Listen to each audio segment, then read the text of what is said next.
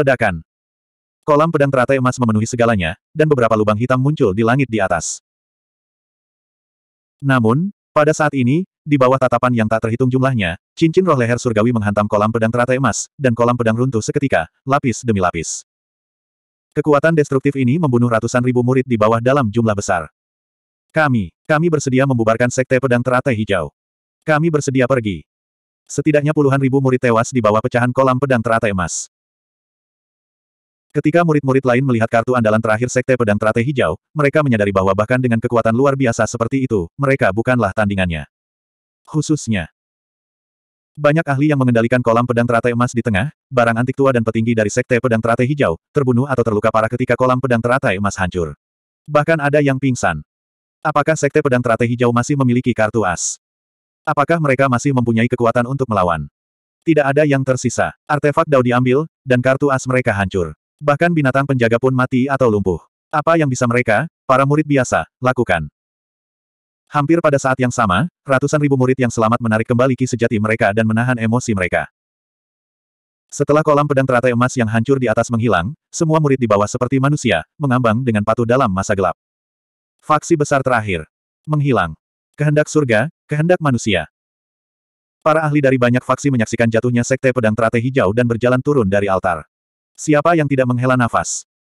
Su Fang terbang, dan cincin roh leher surgawi juga menghilang di telapak tangan Bailing. Ratusan ribu murid kuat dari Sekte Pedang Teratai Hijau gemetar gelisah saat melihat keduanya. Su Fang memindai dan menemukan lelaki tua itu. Dia melepaskan aura dominannya dan melihat ke arah Sekte Pedang Teratai Hijau yang megah di depannya. Mengapa kamu tidak melepaskan dojo Sekte Pedang Teratai Hijau? Sejumlah besar murid tingkat tinggi segera membentuk segel tangan, dan Suan Guang datang dari dalam. Di bawah tatapan para penggarap yang tak terhitung jumlahnya, penghalang dojo terkelupas lapis demi lapis dan menghilang lapis demi lapis, akhirnya memperlihatkan wajah asli dojo sekte pedang teratai hijau. Itu adalah wilayah luas yang diselimuti oleh spirit ki. Ada ratusan ribu murid-murid sekte pedang, dan mereka semua berada di bawah alam bencana. Saat itu, para pemimpin sekte pedang teratai hijau, dan pemimpin pada saat itu semuanya telah kehilangan pemimpin sekte. Murid, kalian, kalian dapat memilih untuk tetap tinggal atau pergi. Ratusan ribu murid terbang ke segala arah seperti tentara yang kalah, hanya menyisakan tanah spiritual dari Sekte Pedang Teratai Hijau. Su Fang melepaskan roh primordial tertingginya lagi, meledak dengan suara iblis surgawi, semua petinggi alam hutan, dengarkan, tujuan saya telah tercapai. Mulai sekarang, alam hutan adalah milik saya, Su Fang, dan juga kepada semua kekuatan utama Anda. Saya ingin memenuhi janji saya kepada Anda semua di sini. Mulai sekarang, semua kekuatan dapat terus tumbuh lebih kuat di sini. Anda tidak perlu membayar saya sumber daya apa pun. Terima kasih, Tuan Alam.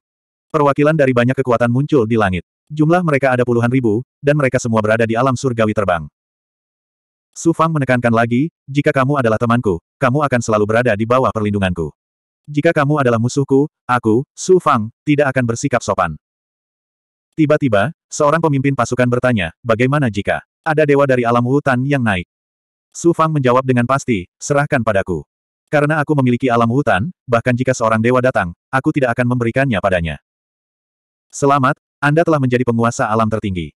Perwakilan dari banyak kekuatan tidak berkata apa-apa. Mereka membungkuk pada saat yang sama lalu pergi. Su Fang berbalik dan menggunakan asal dunia dari alam hutan untuk membungkus tubuh para murid sekte pedang teratai hijau dalam awan api. Suara mendesing. Suara mendesing. Dalam waktu kurang dari setengah dupa, sebuah pesona mulai menutupi bekas sekte pedang teratai hijau. Tanah spiritual ini diciptakan oleh Sekte Pedang Teratai Hijau selama ratusan ribu tahun. Setiap helai rumput dan tanah memiliki energi spiritual. Dan sumber daya yang dikumpulkan oleh Sekte Pedang Teratai Hijau selama bertahun-tahun yang tak terhitung jumlahnya juga tertinggal di sini. Semuanya milik Su Fang.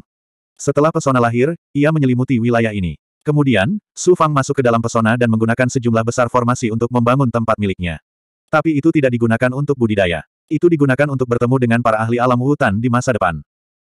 Sama seperti kota kekaisaran di benua kaya. Ketika semuanya sudah diatur, Su Fang melepaskan World Origin dalam jumlah besar dan segera mengaktifkan jimat rune. Setelah beberapa saat, suara Su Zhenhua datang dari jimat rune, Tuan, kami akan mencapai zona Beichen. Kami telah mendengar bahwa zona Beichen siap untuk menghentikan kami menyerang. Suara Agung Su Fang berkata, beritahu mereka hasil dari alam hutan terlebih dahulu. Cegah mereka. Jika mereka masih ingin melawan, serang zona Beichen. Anda juga memberitahu semua orang bahwa saya telah mengambil kendali alam hutan dan menghancurkannya. Sekte Pedang Teratai Hijau. Selamat Tuan. Su Zhenhua, Li Haoji, Penatua Heizun, Markis Qin Yuan Hou dan Raja Suci Guang Zhao akan terkejut ketika mendengar berita ini. Setelah menjatuhkan alam hutan, zona Beichen akan menjadi hal yang mudah. Bahkan jika mereka menolak, itu tidak akan melelahkan seperti berurusan dengan alam hutan. Menyingkirkan jimat rune, niat mendalam menembusnya. Su Fang tersenyum dan menangkupkan tinjunya dengan sopan, enam tuan senior, maaf karena tidak keluar menemuimu. Ternyata niat tersebut datang dari Realm Lord dari Spirit Mist Realm, Six Lord of Rich Fertility. Setelah pesona membentuk sebuah pintu, enam penguasa kesuburan kaya muncul dan memuji, Nak, kamu telah mengembangkan segel disintegrasi iblis hingga tingkat seperti itu. Ajaib, menakjubkan. Junior ini juga terpaksa memikirkan cara untuk memperkuat diriku sendiri. Aku tidak punya pilihan selain mengolah buku iblis. Karena itu, hal itu membuatku kesulitan. Selama kondisi pikiranmu kuat, pikiran jahat tidak akan bisa memengaruhi pikiranmu. Aku di sini untuk memberitahumu bahwa aku telah meminta murid-muridku untuk membawa lebih dari sepuluh ribu ahli dari alam kabut roh untuk membantumu mengambil alih zona Beichen. Mereka sedang dalam perjalanan. Terima kasih atas bantuanmu, senior. Sebelumnya, saya tidak tahu seberapa kuat Anda dan fondasi seperti apa yang Anda miliki. Sekarang saya tahu, saya tahu bahwa Anda menyembunyikan kekuatan Anda.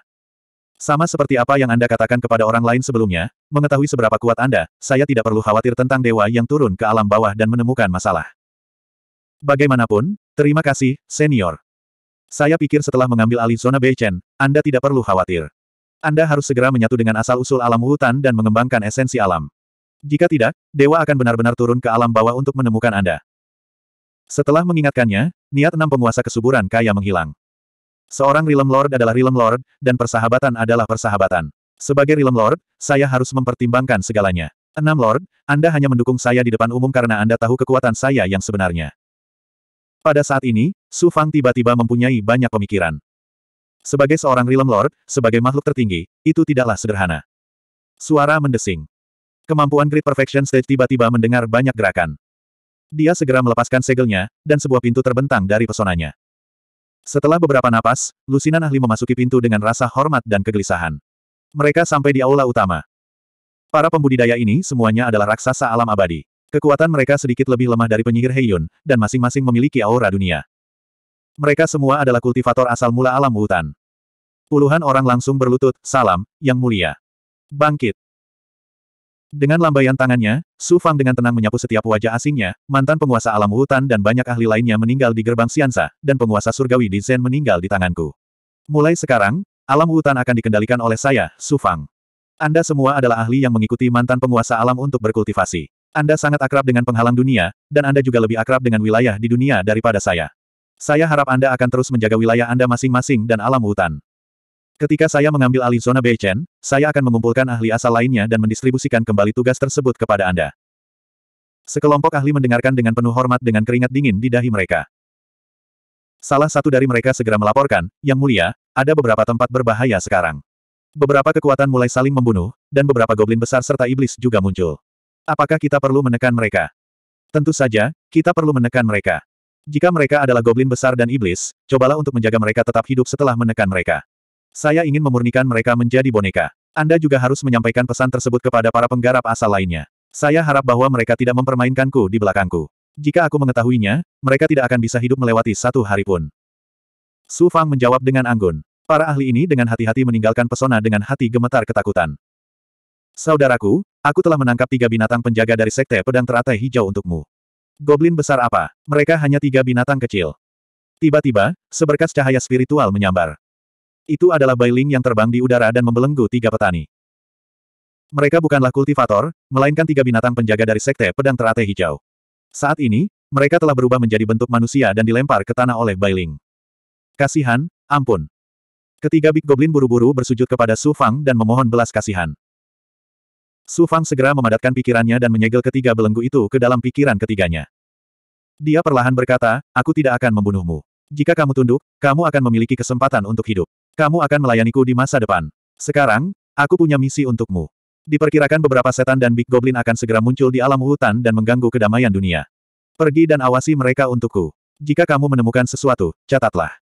Jika tidak, Anda akan memastikannya. Ketiga Big Goblin masih ketakutan. Saudaraku, Aku akan mengikuti mereka ke alam hutan. Bagaimanapun, tidak peduli seberapa banyak aku berkultivasi sekarang, aku tidak akan memiliki banyak kemungkinan untuk menerobos, hehe. Kemudian, Bailing membawa ketiga Big Goblin dan meninggalkan wilayah itu. Dengan adanya Bailing, dia tidak perlu khawatir tentang setan atau goblin besar yang akan menimbulkan masalah. Belum lagi Big Goblin dan Iblis, bahkan makhluk abadi pun tidak bisa berbuat apa-apa terhadap Bailing. Dia mengambil mayat. Itu adalah mayat yang mulia di Zen. Pertama-tama saya akan menggunakan mayat yang mulia di Zen sebagai bahan dasar untuk menyerap kekuatan dunia dari alam hutan yang telah ia gabungkan, serta kemauan nomologis. Kemudian, saya akan menyerap kekuatan dunia dari dunia tanpa akhir dan menyatu sebagian darinya dengan alam hutan sesegera mungkin. Api abadi membakar dan menyelimuti Yang Mulia di Zen. Di bawah pembakaran, tas kosong Yang Mulia di Zen, harta dharma, dan kilintir armor juga muncul. Su Fang menyimpan harta karun ini. Ada kekuatan dunia dalam beberapa harta dharmanya. Ini membuatnya lebih mudah untuk menyerap esensi dari alam hutan. Setelah memurnikan mayatnya, kekuatan yang tersisa adalah truki dan esensi dunia yang luas. Itu sama dengan esensi dunia dari warisan kaisar manusia. Ini adalah kekuatan yang telah dikembangkan oleh Yang Mulia di Zen selama puluhan ribu tahun. Lambat laun, ia mulai menyatu. Dan tanpa terlihat, sejumlah besar spirit ki alami melonjak ke penghalang ini. Itu adalah kekuatan dunia yang diimpikan oleh para petani. Untungnya, dia sudah memiliki kekuatan dunia Wu Tan Rilem di tubuhnya. Pada saat ini, dia dapat dengan cepat menggunakan Yang Mulia di Zen sebagai dasar untuk memadatkan dan mengolah esensi alam hutan. 812. Saat Sufang menyatu dengan kekuatan alam hutan, bawahannya menyerang zona Beichen. Alam hutan. Dulunya, galaksi ini adalah dunia budidaya. Itu sangat cemerlang, tetapi hari ini, ia telah kehilangan penghalang dunianya dan secara bertahap menjadi planet yang terbelenggu oleh kekuatan galaksi. Untung. Tanpa penghalang dunia, energi spiritual yang telah terkondensasi selama bertahun-tahun masih membentuk lapisan energi spiritual di permukaan planet, yang dapat melindungi planet ini. Namun, setelah sekian lama, kekuatan galaksi pada akhirnya akan hilang sepenuhnya, menyebabkan alam Zuotian secara bertahap menjadi planet yang sunyi. Tanpa perlindungan penghalang dunia, bumi seolah kehilangan pusat gravitasinya. Tidak ada lautan atau danau, yang ada hanya parit tak berdasar di permukaan bumi. Dari jauh, tampak seperti raksasa yang melingkar di permukaan alam Zuotian. Tidak ada tumbuhan, dan tidak ada kehidupan. Di ujung planet ini, ada benua mirip labu yang berakar dan tumpang tindih dengan tanah. Ini adalah salah satu dari empat benua besar di masa lalu, benua langit merah. Di masa lalu, tidak ada jejak dojo budidaya di benua ini, seperti Sekte Pedang Patah, Sekte Abadi Ganda, dan Sekte Penyegel Surgawi. Itu benar-benar kosong. Melihat ke atas, seseorang hanya bisa melihat batu labu dingin tergeletak di tanah. Di tempat penggabungan labu, dekat mulut labu, adalah tempat di mana perbatasan selatan dan benua langit merah bergabung. Hutan gelap yang sangat misterius masih dipenuhi lapisan kabut hitam. Jika dilihat lebih dekat, masih ada beberapa hutan yang ramai di bawah kabut. Hutan gelap dulunya tak terbatas dan luas, bagaikan tulang ikan, terjepit di antara perbatasan selatan dan benua langit merah. Tapi sekarang, ukurannya kurang dari sepersepuluh dari ukuran sebelumnya. Sebagian besar dihancurkan oleh aura tertinggi yang dilepaskan ketika gerbang Xianza menyerang alam Zuotian. Hutan gelap kini menjadi satu-satunya keberadaan di benua langit merah. Seperti yang diharapkan dari murid penguasa alam Zuotian, Tuan Heiyun memang kuat. Semua dojo di benua langit merah sudah tidak ada lagi, namun hutan gelap masih berdiri di benua ini. Beberapa energi vital ada di kabut hutan. Beberapa ahli sedang berpatroli. Di kedalaman hutan, di dalam lapisan penghalang, terdapat pegunungan gelap tanpa banyak kehidupan. Keadaan hampir sunyi senyap. Tampaknya sejak hutan gelap lahir, ada kekuatan kegelapan biasa yang sangat mempengaruhi wilayah ini. Ada beberapa gua di pegunungan, dan di kedalaman tebing dekat puncak gunung, ada sebuah gua besar. Ada dua ahli yang berjaga di luar gua. Masih ada lapisan formasi di dalamnya. Di kedalaman formasi, Wizard Heiyun terluka parah. Dia berkultivasi dalam bola kekuatan yang menyerupai asap hitam. Dewa tercela. Gerbang Xianza tercela. Tubuh penyihir Heiyun bergetar. Ternyata tubuhnya dipenuhi luka berdarah. Itu adalah pemandangan yang mengerikan. Semuanya sesuai rencana guru. Dia membawa lima dewa besar, dan dia sendiri adalah dewa abadi. Awalnya, mereka berenam bisa membunuh sebagian besar dewa dan bergabung untuk menekan gerbang Xianza. Siapa yang mengira gerbang Xianza akan keluar dan membunuh lebih dari separuh rekan ahli kita yang telah mengatur formasi. Bahkan bagian dalam dunia hancur oleh gelombang kejut. Ketika dia mengingat proses cederanya, dia merasakan ada yang mengganjal di tenggorokannya. Guru juga terluka parah sekarang dan mengasingkan diri di kedalaman inti bumi.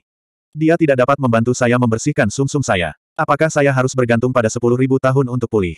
Saya pikir guru akan meninggalkan dunia kecil dan lalu berikan padaku. Pada akhirnya, semakin dia memikirkannya, semakin dia merasa kesal. Perutnya penuh dengan rasa pahit sehingga dia tidak bisa berhenti muntah. Ketika saya pulih, bukankah mungkin bagi guru untuk mewariskan kekuatan dunia kepada saudara-saudara senior lainnya? Matanya menatap lurus ke depan. Dia segera berhenti berkultivasi dan mengerutkan kening dalam aura gelap. Bukankah kamu seharusnya mendengarkanku dan mengikutiku? Hanya dengan begitu kamu dapat melampaui ribuan kultivator. Tiba-tiba, di kedalaman aura gelap, seorang pria berjubah hitam yang terbentuk dari asap hitam muncul. Penyihir Heiyun menatap bayangan hitam itu. Huff, kekuatanmu terlalu jahat dan dingin. Itu tidak cocok untukku. Bayangan hitam itu tertawa parau. Jika itu tidak cocok untukmu, lalu mengapa kamu secara tidak sengaja muncul di kedalaman ruang gelap? Mengapa kamu menyerap kekuatan gelap milikku? Mengapa kamu dikenal sebagai penyihir Heiyun?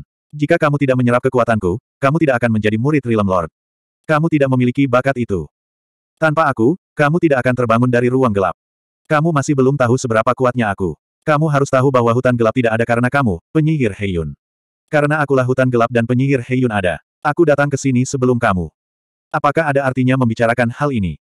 Yang mulia iblis bertanduk tunggal yang ditekan di sini di masa lalu hanyalah seutas kesadaran Anda.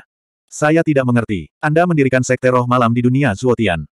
Saya kupikir kamu akan membangun kekuatan nomor satu di dunia Zuotian, tetapi pada akhirnya, sekte roh malam tidak menimbulkan masalah apa pun. Saya bisa mengendalikan boneka yang tak terhitung jumlahnya. Yang mulia iblis bertanduk tunggal hanyalah salah satu bonekanya. Adapun kultus roh malam, itu hanya untuk memulihkan kekuatannya dan membiarkan boneka membentuk apa yang disebut kekuatan. Alam Zuotian apa? Anda picik. Saya tidak menyalahkan Anda. Anda tidak kompeten. Hanya saja kamu belum bertemu orang yang tepat. Tuan Alam Zuotian itu bukan orang yang tepat untuk Anda. Kamu terlalu sombong. Aku akui bahwa aku tidak bisa melihat kekuatanmu, tapi tuanku adalah seorang dewa. Sepuluh ribu tahun yang lalu, dia naik ke dunia abadi besar. Dalam perjalanan, dia pergi ke dunia abadi besar untuk memadatkan sebuah tubuh roh abadi dan kemudian kembali ke dunia kecil. Tahukah Anda bahwa ini bukan sesuatu yang bisa dilakukan orang biasa? Anda bahkan bukan seorang abadi. Yang abadi dan kultivator tidak akan menjelaskannya kepadamu. Saya hanya ingin Anda tahu bahwa tidak peduli seberapa kuat seorang immortal atau kultivator, di depan sekte saya, mereka semua adalah makhluk rendahan seperti semut. Jika saya ingin pergi ke dunia besar, saya tidak akan terbelenggu oleh hukum dunia besar. Saya bisa datang dan pergi dengan bebas. Lupakan saja, jika kamu di sini untuk bersenang-senang, aku tidak punya waktu untuk menemanimu. Wizard Heiyun mendengarkan sebentar, semakin dia mendengarkan, semakin dia kehilangan ketenangannya. Realm Lord Zuotian itu adalah seorang abadi. Dan pria berjubah hitam ini meremehkannya. Bayangan hitam itu tertawa kecil. Karena kamu secara tidak sengaja membangunkan tubuh ini saat itu, sekte ini tidak menekanmu dan memurnikanmu menjadi boneka. Karena kamu tidak percaya pada kemampuan sekte ini, sekarang aku akan membawamu melihat sampahmu sebagai seorang master.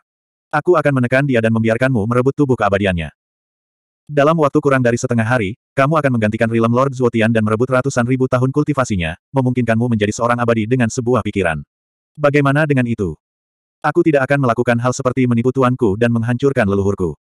Haha, Tuan Heiyun, orang seperti apa Anda? Bahkan setelah bertahun-tahun, saya masih belum mengetahui jati diri Anda. Anda ambisius, namun penakut dan telah menunggu kesempatan. Tapi tahukah Anda, peluang tidak hanya menunggu, tetapi juga diciptakan oleh diri Anda sendiri. Sekarang Wutan sudah pulih, ini adalah kesempatan terbaik Anda. Anda bahkan mengatakan sesuatu tentang menipu tuan Anda dan menghancurkan leluhur Anda. Anda, ikutlah denganku. Seseorang dengan hati gelap sepertimu itu egois dan serakah. Kamu cocok dengan selera sekte ini. Jika kamu tidak mengambil kesempatan ini sekarang, tubuh ini tidak akan membantumu di masa depan. Kamu tidak bercanda. Haha, sekte ini tidak pernah bercanda. Karena kamu ingin melihat kekuatan sekte ini, sekte ini akan menunjukkannya kepadamu. Alam gelap. Pria berjubah hitam itu tertawa dan perlahan menarik bagian atas jubahnya, memperlihatkan penampilan aslinya. Dia hanyalah seorang kultivator pria berusia 30 tahun yang sangat biasa. Auranya tidak kuat, tapi aura gelapnya dalam dan tak terbatas. Tiba-tiba, penyihir Heiyun tidak sempat bereaksi. Dia menemukan bahwa sekelilingnya tiba-tiba jatuh ke dalam galaksi tak berujung. Dia berada di kedalaman galaksi, jurang legendaris galaksi. Tidak ada kilau, hanya cahaya bintang yang gelap. Namun, dia secara ajaib bisa melihat pria gelap berdiri di sampingnya, dan lingkungan di sekitarnya bukanlah hutan gelap yang dia kenal. Tidak ada jejak aura Zuo Tian Rilem. Penyihir Heiyun berseru, tempat apa ini? Apakah itu gambar ilahi atau domain dao legendaris yang hanya bisa dikendalikan oleh dewa? Ini adalah alam gelap, gambar ilahi atau domain Dao apa. Jika Anda harus mengatakannya, katakan saja itu adalah dunia, dunia gelap yang dimiliki oleh kursi ini. Pria misterius itu sedikit mengangguk dan melihat ke depan. Orang-orang percayaku yang gelap, keluarlah. Ya, Tuhan Yang Maha Esa. Dalam kegelapan, sebelum penyihir Heiyun kembali sadar, sosok gelap yang tak terhitung jumlahnya muncul. Dan pemimpinnya membuatnya berseru, supremasi iblis bertanduk tunggal dan yang lainnya, mengapa mereka adalah para penggarap yang masuk ke hutan gelapku dan dibelenggu olehku. Sejumlah besar sosok gelap menjadi jelas, dan tiba-tiba tampak melayang di depan penyihir Heiyun. Ada sekitar beberapa ratus orang, dan pemimpinnya juga adalah iblis yang pernah dilihat Su Fang dan Dao Liang sebelumnya, supremasi iblis bertanduk tunggal. Sebagian besar lainnya juga dilihat oleh Wizard Heiyun dan memiliki kesan terhadap mereka. Di samping supremasi iblis bertanduk tunggal, ada seorang kultivator parubaya. Pakaian orang ini, jika Su Fang dan Bai Ling ada di sini, mereka akan segera mengenali orang ini. Mantan penguasa prefektur Provinsi Tianmen, Kaisar Suci Tianmen. Penyihir Heiyun tidak dapat mempercayainya. Sebagian besar dari orang-orang ini ditindas oleh saya di penjara hutan gelap. Bagaimana Anda bisa mengendalikan mereka secara diam-diam? Kamu tidak perlu khawatir tentang hal itu. Bahkan jika aku menjelaskannya, kamu tidak akan mengerti. Sekteku tidak membangun kekuatan apa pun sekarang, tetapi di dunia kecil tempat manusia hidup, kami mengumpulkan semacam kekuatan yang akan menjadi kekuatan. Sangat penting di masa depan. Itu bisa mengubah hukum langit dan bumi. Ayo pergi. Pria misterius itu menggelengkan kepalanya tanpa suara, dan matanya tiba-tiba memancarkan cahaya jahat. Semua orang sepertinya berada dalam kegelapan yang terdistorsi. Dan hanya satu tarikan napas kemudian. Kegelapan yang terdistorsi tiba-tiba menghilang, dan secercah cahaya putih muncul di depan mereka. Retakannya sedikit melebar, dan di ujung cahaya putih ada sumber alam Zuotian yang tak ada habisnya, dan ada cahaya abadi di dalamnya. Rilem Lord Zuotian sedang berkultivasi dalam cahaya abadi. Penyihir Heiyun tercengang. Seberapa cepat kamu? Kamu datang ke area terlarang tuanku dalam sekejap mata, dan kamu bahkan datang ke depannya tanpa disadari olehnya. Kamu tidak akan mengerti bahkan jika aku menjelaskannya. Kamu belum pernah melihat dunia yang hebat, dan kamu belum melihat langit berbintang yang luas di dunia yang besar. Penyihir Heiyun, aku akan memberimu satu kesempatan ini. Saat kamu menjadi yang abadi dan menggantikan segalanya dari Realm Lord, Anda harus mempertimbangkan apakah Anda ingin berjanji kesetiaan Anda kepada saya. Jika Anda tidak mau, saya tidak akan melihat Anda lagi. Lihatlah orang-orang ini, mereka semua adalah orang-orang yang beriman dari sekteku. Kami tidak membutuhkanmu. Saya. Suara mendesing. Tiba-tiba, karena tidak mengizinkan penyihir Heiyun berbicara, dia mengucapkan sepatah kata lagi. Pria gelap itu meraih cahaya putih, dan Realm Lord Zuotian yang berkultivasi diselimuti oleh sejumlah besar energi kegelapan. Seperti aliran hitam, dia tersedot ke dalam dunia misterius yang gelap ini.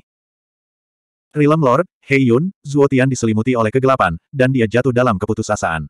Dia abadi, namun dia tidak bisa menolak sama sekali. Hanya abadi, menyatu dengan kegelapan. Pria berkulit gelap itu menepuk bahu penyihir Heiyun, dan tubuhnya mulai terbakar.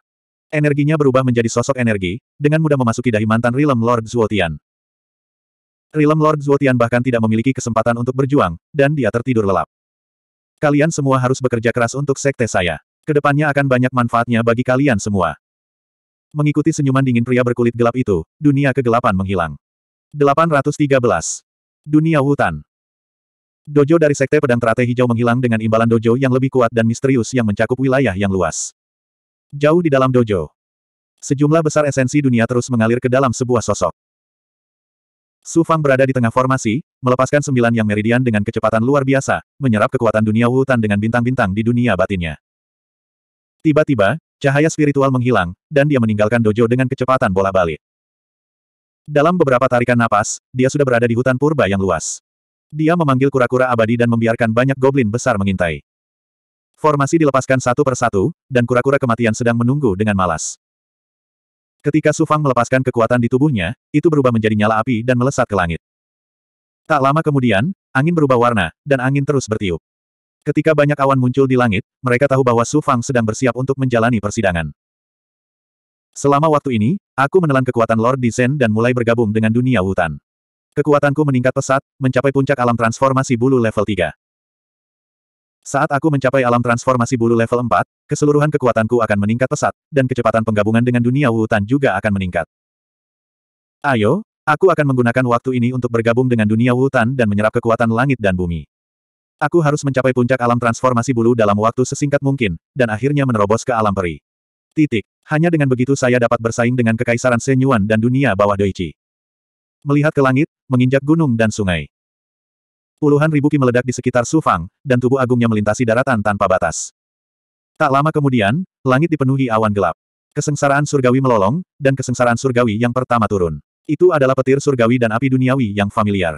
Tentu saja, kesengsaraan astral jauh lebih kuat, terutama api duniawi, yang dengan cepat membakar sekitar Sufang. Us, gelombang. Kura-kura abadi. Melihat percobaan pertama, Su Fang dengan santai meraihnya, dan sebuah telapak tangan mengambil setengah dari kekuatan percobaan tersebut, dan mengubahnya menjadi bentuk ular naga, dan berguling menuju kura-kura abadi. Kura-kura abadi membuka mulutnya dan mengeluarkan aura iblis, yang bekerja sama dengan Su Fang, dan menelan cobaan kekerasan ke dalam tubuhnya. Dalam sekejap, Su Fang mengambil lagi dan menghancurkan kesengsaraan surgawi yang tersisa. Setelah itu, kesengsaraan surgawi kedua, ketiga, dan terakhir keempat semuanya dilenyapkan oleh kekuatan hebat Su Fang. Meskipun kesengsaraan surgawi di alam kenaikan tidak banyak mempengaruhinya, api bumi dari kesengsaraan astral menyebabkan tanah dalam jarak 100 mil di sekitarnya terbakar habis. Kesengsaraan surgawi bersifat merusak. Untungnya, ini adalah daerah yang sepi. Kalau tidak, banyak nyawa tak berdosa akan mati di sini. Setelah menembus kesengsaraan keempat, tubuhnya berubah dan maju. Setelah serangkaian benturan, Su Fang melihat benang darah yang diubah dari tubuh asli teratai hitam mulai tumbuh terlebih dahulu, menjalin tulang, darah, otot, sel, meridian, dan bahkan kulit. Bahkan jari-jari kakinya dihubungkan oleh benang darah teratai hitam. Bukanlah hal yang tidak masuk akal bagi anak bintang tujuh untuk datang ke alam bawah untuk menangkap Sufang. Keajaiban tubuh asli teratai hitam hanya dapat dipahami secara perlahan melalui budidaya terus-menerus. Tubuh fisik yang istimewa sungguh luar biasa. Tubuh asli lima racun dari Master Sekte setara dengan kekuatan keabadian. Butuh upaya bertahun-tahun yang tak terhitung jumlahnya untuk mengembangkan perpaduan tubuh asli lima racun dan tubuh fisik. Ketika tubuh fisik menderita apa pun rusak atau diambang kematian, lima benda spiritual racun yang tersembunyi jauh di dalam tubuh akan menyerap kekuatan fisik dan membentuk tubuh fisik baru. Meskipun tubuh asli teratai hitam tidak memiliki kekuatan keabadian seperti tubuh asli lima racun, vitalitasnya tidak dapat dibayangkan. Sekarang, sebagian besar benang darah teratai hitam dapat secara perlahan mengoperasikan Vital Ki. Jika semua benang darah dari tubuh asli teratai hitam teratai hitam dapat mengoperasikan Vital Ki, maka saya akan memiliki meridian beberapa kali lebih banyak di tubuh saya. Ketika meridian dan benang darah bekerja sama dalam kultivasi, itu berarti benang darah juga akan menjadi meridian saya. Dalam hal ini, kecepatan kultivasi saya akan menjadi beberapa kali lebih cepat daripada kultivator lainnya. Saya kira benang darah teratai hitam memiliki kemampuan lain. Tubuh asli teratai hitam terintegrasi sempurna dengan tubuh fisik kesempurnaan agung. Di masa depan, saya tidak tahu kemampuan lain apa yang akan dirangsang. Melihat perubahan tubuh asli teratai hitam di tubuhnya, dia tidak bisa tidak memikirkan anak bintang tujuh. Dia secara bertahap memahami situasi di tubuhnya dan sangat puas dengan keadaan ini. Ketika tubuh fisiknya tenang, ujian surgawi akhirnya hilang. Kura-kura abadi masih mengeluarkan asap hijau untuk waktu yang lama. Tubuh fisik besar orang ini lebih gesit dari sebelumnya. Satu-satunya hal yang kurang saat ini adalah serangkaian teknik budidaya yang cocok untuk kura-kura abadi. Setelah menerobos ke alam abadi tingkat 4, vital ki di tubuhnya menjadi sangat tipis. Tubuh fisiknya kosong, dan hanya sepertiganya yang merupakan vital ki. Mengaktifkan kekuatan dunia, Su Fang mulai melahap sisa esensi darah abadi, buah abadi, dan sumber daya lainnya. Segera, kekuatan dunia, yang dapat dilihat dengan mata telanjang, melonjak dari segala arah dan diserap oleh Su Fang. Setiap helai rambut menyerap dengan sangat cepat. Seberapa mengejutkan perubahannya. Dalam waktu kurang dari tiga bulan, Su Fang menyerap kekuatan dunia beberapa kali lebih cepat dari sebelumnya karena asal-usul dunia dan integrasi sebagian dari alam hutan. Dalam waktu sesingkat itu, vital ki di tubuhnya jelas telah mencapai keadaan normal alam abadi tingkat 4. Pada tingkat ini, dalam beberapa tahun, dia bisa mencapai puncak alam abadi tingkat 4 dan menerobos ke alam abadi tingkat 5. Bahkan berkultivasi di dunia Ren Huang tidak mengalami transformasi yang begitu mengejutkan. Dunia Ren Huang telah kehilangan penghalang dunia selama bertahun-tahun yang tak terhitung jumlahnya, dan esensinya telah terkuras hingga ekstrim. Su Fang berkata bahwa dia akan berintegrasi dengan dunia Ren Huang. Daripada melakukan hal tersebut, lebih baik dia mengandalkan kekuatannya sendiri untuk mengubah dunia Ren Huang yang sunyi selangkah demi selangkah dan mengembalikannya ke kejayaannya. Kultivasi di alam hutan sangat berbeda. Alam ini kaya akan energi spiritual, dan Su Fang tidak perlu khawatir ketika dia berintegrasi dengan alam ini. Dengan cara ini, kekuatan di tubuhnya bisa meningkat tanpa batas. Roh magis awan ungu sungguh luar biasa. Bahkan sekarang, dengan kekuatan dan budidaya alam abadi, saya masih tidak bisa mengendalikannya. Dia merasakan perubahan lainnya. Saat ini, yang paling dia khawatirkan adalah roh magis awan ungu di lengan kanannya. Lagi pula, di alam hutan, dia telah menyaksikan kehancuran sekte penyegel surgawi. Dia sangat dekat dengan Seng Changsheng, tapi dia masih tidak bisa mendapatkan roh magis awan ungu kembali. Roh magis awan ungu telah berada dalam kondisi integrasi di lengan kanannya selama bertahun-tahun, tapi dia tidak bisa mengaktifkannya sesuka hati. Sama seperti alam suci Yuan campuran di tubuhnya, dia tidak bisa mengendalikannya dan tidak bisa memahami kemampuan roh sihir awan ungu. Semua ini menunjukkan bahwa roh magis awan ungu sungguh luar biasa. Saat itu, ketika saya memperoleh bagian dari gambar ilahi Jade Anulus, saya tidak dapat mengintegrasikannya. Bagian ketiga dari roh magis awan ungu selalu ada di depan saya. Jika saat itu di Sekte Penyegel Surgawi, saya melakukannya tidak terlalu takut dan langsung menyerang Seng Changsheng, mungkin aku bisa mengambil kembali roh ajaib awan ungu. Tetapi saat itu, saya terlalu lemah. Saya tidak dekat dengan Seng Changsheng. Orang ini juga sangat misterius. Siapa yang tahu seberapa kuat dia saat itu? Waktu dan keberuntungan. Saya tidak mendapatkan bagian ketiga dari roh ajaib awan ungu, yang berarti saya tidak mengetahui waktu dan tidak memiliki kekuatan absolut. Seng Changsheng sekarang berada di tangan Huang Lingyao dan bahkan anak bintang tujuh. Selain itu, mereka berdua telah meninggalkan alam kecil. Saya masih harus pergi ke dunia besar Xian'ao yang tidak diketahui dan menemukan mereka berdua untuk berpikir cara untuk mendapatkannya kembali. Huang Lingyao, tampaknya di antara empat murid yang mulia, Anda sekarang adalah pemenang dalam hidup. Lengan kiri Pangeran Sue dipotong oleh saya. Dia seharusnya melarikan diri ke Kekaisaran Senyuan. Seng Changsheng ada di tangan Anda. Saya masih berkultivasi di alam kecil, tapi kamu sudah menjadi seorang immortal. Melihat roh ajaib awan ungu, banyak gambaran tiba-tiba muncul di benaknya, dan dia hanya bisa menghela nafas. Dia juga melihat perubahan lainnya. Integrasi kayu penjinak naga di lengan kirinya lebih sempurna. Jika dia mengaktifkan kemampuan elemen kayu sekarang, lengan kirinya akan segera tumbuh. Inti emas asal dalam dantiannya juga telah menyerap lebih banyak energi yang murni, dan integrasinya dengan pagoda enam jalan Suan Huang semakin dekat. Diperkirakan mendekati level ke-9. Mungkin ketika dia mencapai alam peri, dia benar-benar dapat berintegrasi dengan pagoda enam jalan Suan Huang dan memiliki harta ajaib sumber kehidupan yang sempurna. Belum lagi di alam kecil, sulit bagi seorang kultivator untuk memiliki harta ajaib sumber kehidupan. Bahkan di alam besar, tidak mudah bagi dewa tertinggi untuk mengolah harta ajaib sumber kehidupan. Kualitas harta sihir sumber hidupku masih sedikit lebih rendah daripada pedang siang berbintang. Sayangnya, tubuh fisikku terlalu lemah. Aku pikir ketika aku mencapai alam peri, pagoda enam jalan Suan Huang akan bisa maju bersamaku. Kualitasnya jelas akan berubah. Saya tidak akan memiliki kekuatan untuk mengguncangnya di alam Ascension. Kualitas pagoda enam jalan Suan Huang mendekati puncak, dan kekuatan keseluruhannya lebih tinggi dari milik saya. Kekuatan saya harus mencapai tingkat yang sama sebelum saya dapat meningkatkan pagoda enam jalan Suan Huang. Setelah melihat harta karun ajaib sumber kehidupan, dia melihat ke arah labu spiritual awan flaming, gajah dewa api, 13 golem kristal api, cincin luar angkasa instan, dan harta karun ajaib lainnya. Harta ajaib ini semuanya bersifat tambahan. Harta ajaib yang paling penting adalah pagoda enam jalan Suan Huang dan alam suci esensi campuran. Deng, dengungan gelombang. Dia awalnya berencana untuk berhenti berkultivasi, lalu kembali dan mengumpulkan warisan dari Sekte Pedang Teratai Hijau. Kemudian, dia akan bertemu dengan Bai Ling dan segera bergegas ke zona Beichen. Dia tidak menyangka bahwa ketika dia mengolah dan menyerap esensi alam hutan yang tak terhitung jumlahnya, aura tiba-tiba datang dari dalam tubuhnya. Ketika dia datang untuk melihatnya, dia sangat bangga. Ternyata di dekat sembilan yang meridian yang telah membentuk sebuah siklus, yang meridian ke-10 telah berhasil dipadatkan. Cahayanya menyilaukan, dan energi yang hampir terbakar. Tepat pada waktunya, tepat pada waktunya. Dia baru saja menerobos ke alam abadi tingkat 4, dan tidak menyangka yang meridian ke-10 akan berhasil dipadatkan. Dia segera mendesak semua energi yang untuk menyerang yang meridian ke-10, menyebabkan kecepatan kondensasi meningkat.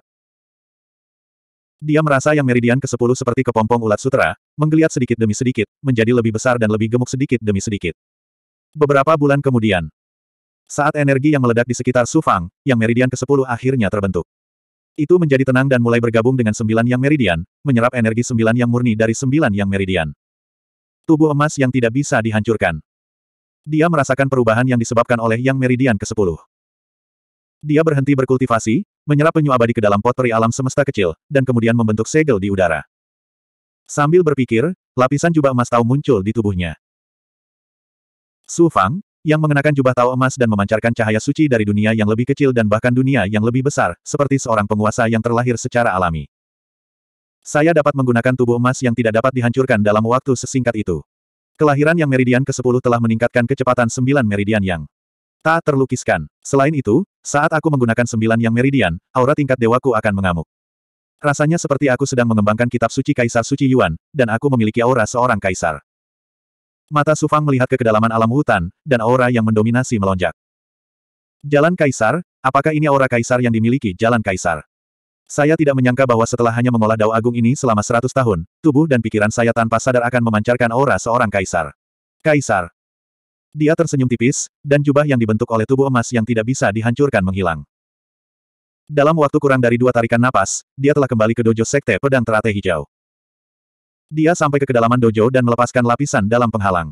Bukannya dia tidak mengetahui tentang penghalang ini. Ini adalah penghalang inti yang dilihat Green Lotus. Di dalam penghalang itu ada niat pedang yang tak ada habisnya, kiro abadi, dan asal mula alam hutan. Haha, sekte pedang teratai hijau, jangan mengecewakanku. Setelah lahir di alam hutan selama bertahun-tahun, kamu pasti memiliki banyak harta yang aku butuhkan. Dia tersenyum dan berjalan ke kedalaman cahaya spirit ki seperti bandit. 814. Dia terus memasuki dunia formasi paling sentral dari bekas sekte pedang teratai hijau. Ada terlalu banyak aura dunia yang familiar, ki spiritual, dan bahkan ki abadi yang terjalin di setiap sudut ruangan. Kedalaman ratusan meter, sejumlah besar harta ajaib, batu spiritual, jimat rune, buku panduan rahasia, dan benda spiritual muncul di depan Sufang. Ada juga pembuluh darah spiritual, ribuan saja. Sebagian besar harta sihir sebagian besar adalah pedang terbang, dan manual rahasia juga mengungkapkan keinginan pedang yang jelas. Tampaknya manual rahasia ini, yang ditempatkan di sini untuk waktu yang lama, telah ternoda oleh kehendak pedang tertinggi. Setiap harta karun di sini adalah fondasi yang ditinggalkan oleh Sekte Pedang Teratai Hijau. Ada juga ruang 10.000 meter di dalamnya, yang semuanya merupakan harta karun yang luar biasa. Beberapa ratus tahun yang lalu, harta karun ini akan menjadi harta tak terbatas bagi Sufang. Namun sekarang, nilainya tidak banyak. Dia memiliki batu spiritual dan tidak kekurangan harta sihir, dan benda spiritual hampir tidak bisa dibandingkan dengan harta karun dunia besar. Adapun manual rahasia Sekte Pedang Teratai Hijau, Su Fang tidak terlalu tertarik padanya. Semua jenis sumber daya telah disortir, dan Su Fang langsung menyerap kategori sumber daya ke dalam pagoda enam Jalan Suan Huang. Mengontrol dunia hutan dan zona Beichen tidak membutuhkan banyak sumber daya, namun untuk membangun kembali peradaban dunia Ren Huang dan membangun pijakan di galaksi, hal ini memerlukan sumber daya yang tidak ada habisnya. Ada ribuan harta sihir tingkat raja di dekat pagoda enam Jalan Suan Huang. Lumayan, lumayan. Dia masih memperhatikan beberapa harta karun yang sangat indah. Ada juga beberapa harta karun dari dunia besar.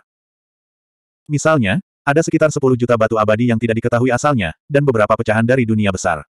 Tetapi bahkan gambar ilahi jadi Anulus tidak dapat menyimpulkan metode budidaya lengkap dari fragmen tersebut.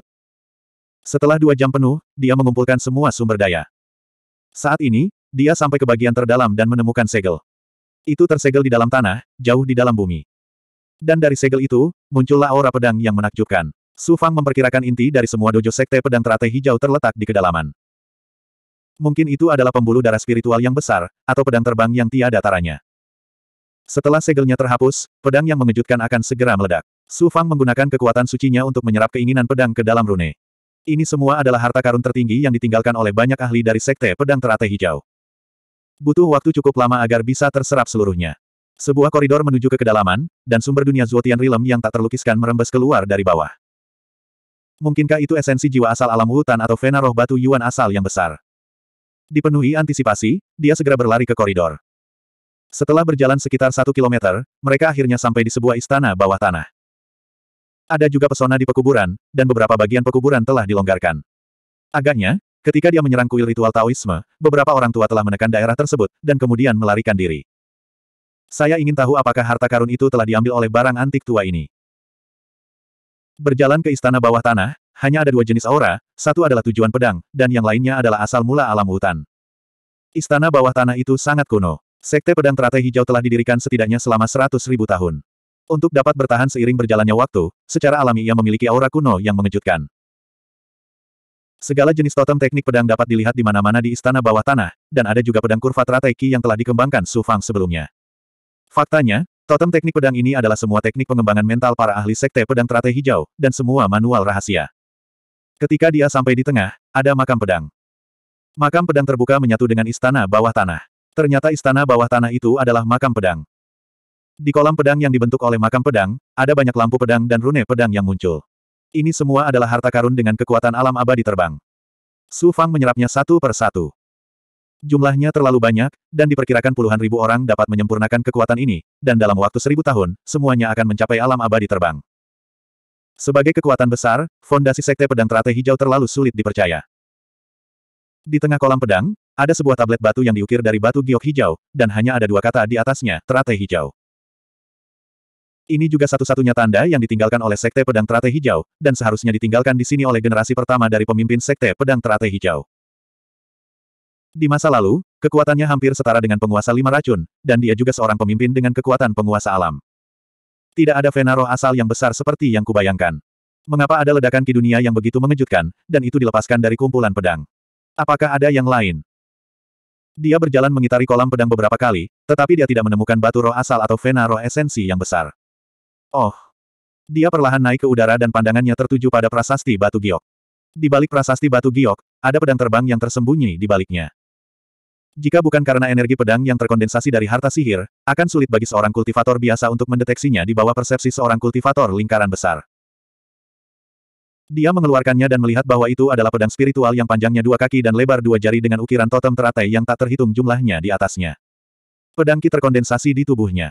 Itu adalah roh asli dari pedang siang hari berbintang, Tuan, kualitas pedang spiritual ini hampir sama tingginya dengan milik bintang kecil.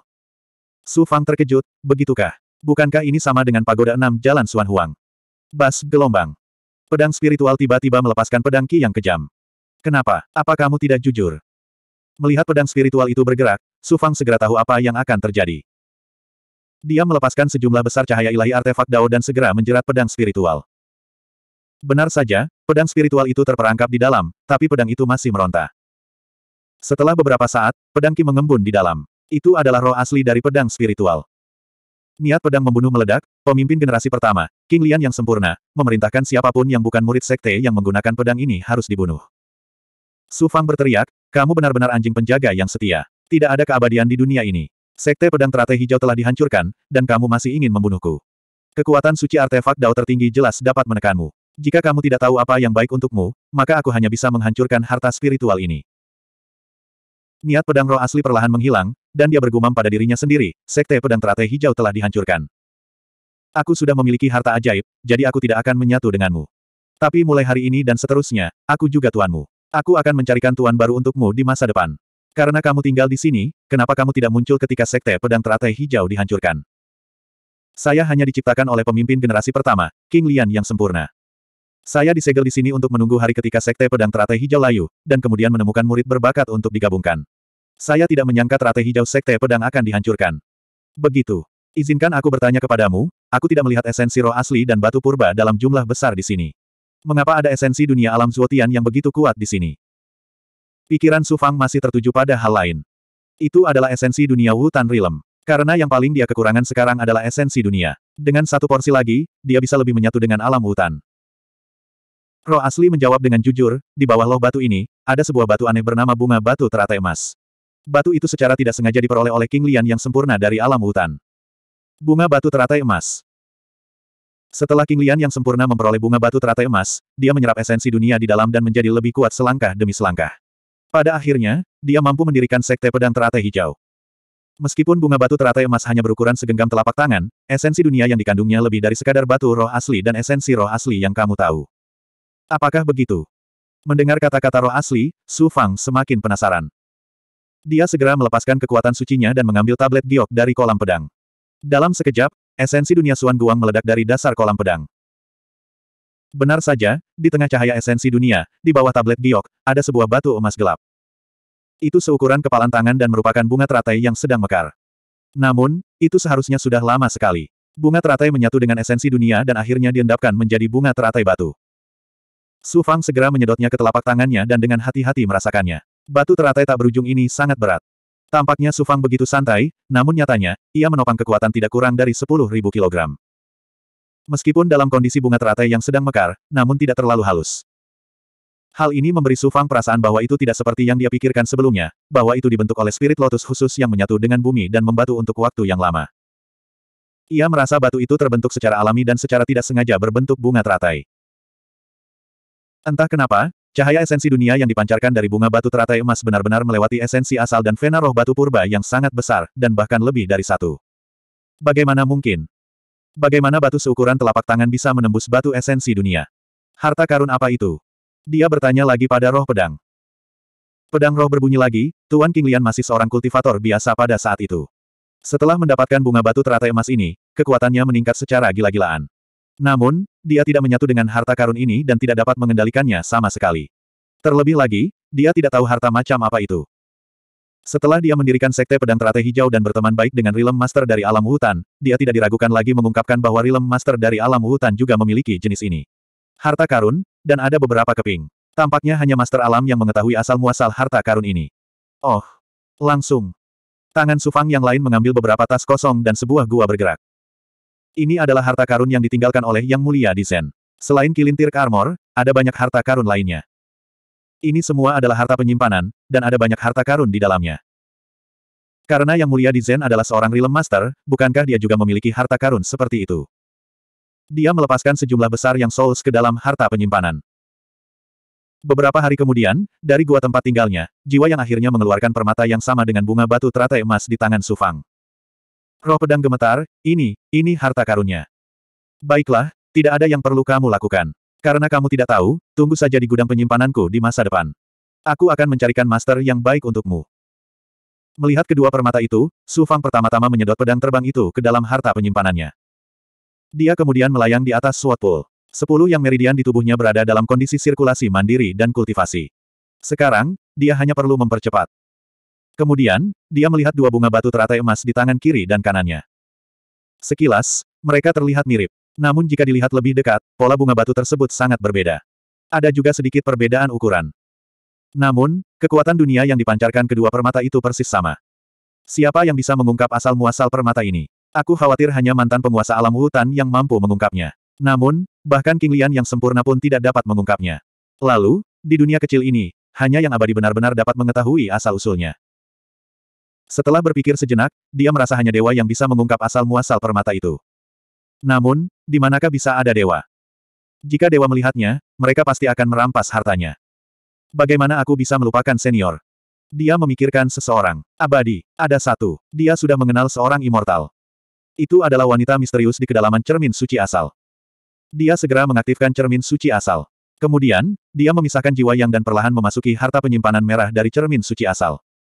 Namun, dia masih belum bisa bergerak bebas. Su Fang mulai melepaskan sembilan Yangki dan beberapa sembilan Yinki. Dia menunggu beberapa hari. Hanya ketika aura dingin yang familiar menyerangnya secara samar, Su Fang menghela napas lega. Suara wanita misterius yang akrab terdengar samar-samar dengan aura dingin, kamu telah mengolah sepuluh yang meridian.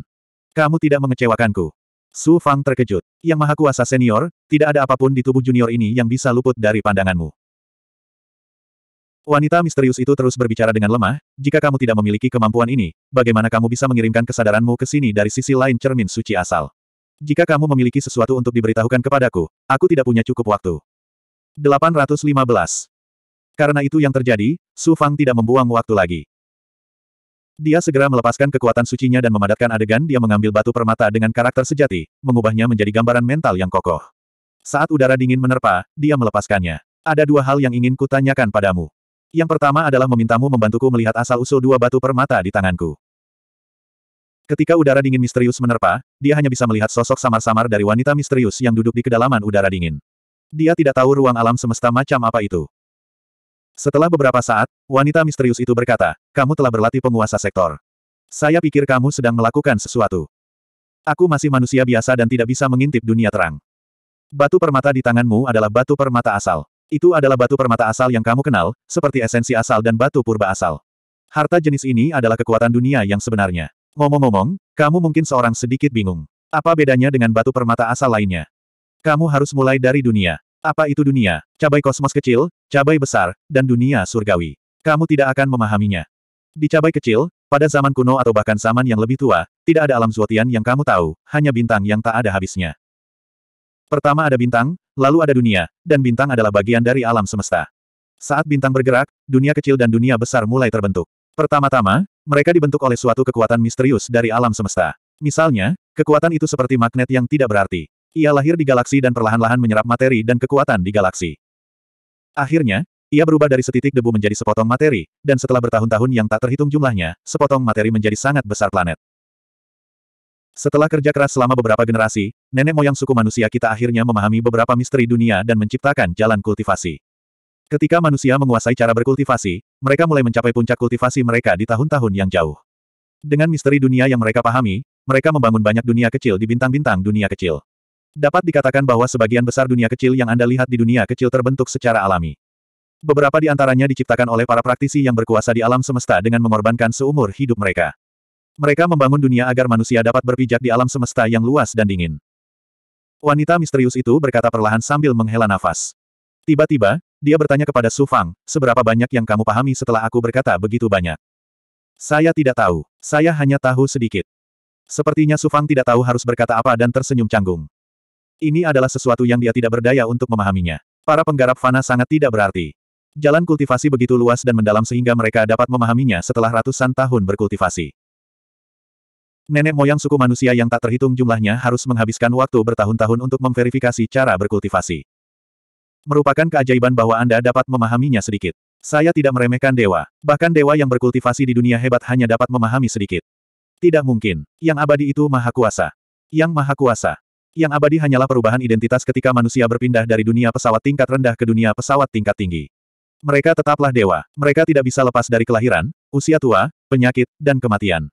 Mereka hanya sedikit lebih kuat dari manusia. Umur, kekuatan sihir, dan kekuatan mereka jauh lebih unggul daripada manusia. Wanita misterius itu menuangkan baskom berisi air dingin ke Su Fang, yang sangat ingin belajar tentang dewa dan dunia besar. Pada saat ini, Su Fang tiba-tiba tidak mengerti seberapa besar dunia ini.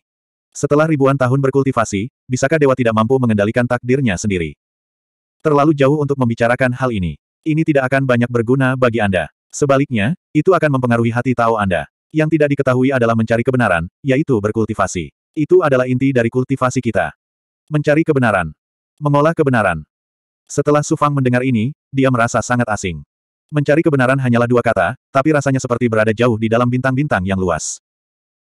Setelah melangkah ke alam abadi, kamu masih berada di alam mencari kebenaran. Dua permata di tanganmu adalah fondasi dunia kecil. Mereka disebut kekuatan asal dunia. Oh, mereka tidak bisa dianggap sebagai kekuatan asal dunia. Kamu memiliki aura ini di tubuhmu, jadi kamu harus tahu tentang kekuatan asal dunia. Junior secara tidak sengaja menyerap kekuatan asal dunia ketika pohon roh labu surgawi lahir. Kurang lebih sama, kekuatan asal dunia adalah salah satu energi paling murni di dunia. Kekuatan asal dunia juga sangat berbeda. Kedua permata ini terbentuk dari kekuatan asal dunia. Mereka lebih akrab daripada batu esensi asal dan batu esensi asal. Tidak banyak permata seperti ini di dunia kecil mana pun. Permata ini sangat langka. Sumber kekuatan asal dunia adalah hal terpenting yang perlu Anda ketahui. Anda harus ingat apa yang akan saya katakan. Tentu saja, Anda tidak perlu terlalu memahaminya. Anda hanya perlu mengingatnya. Saya dengan hormat mendengarkan ajaran senior. Telinga Sufang meninggi. Dia tampak seperti kelinci berbentuk manusia.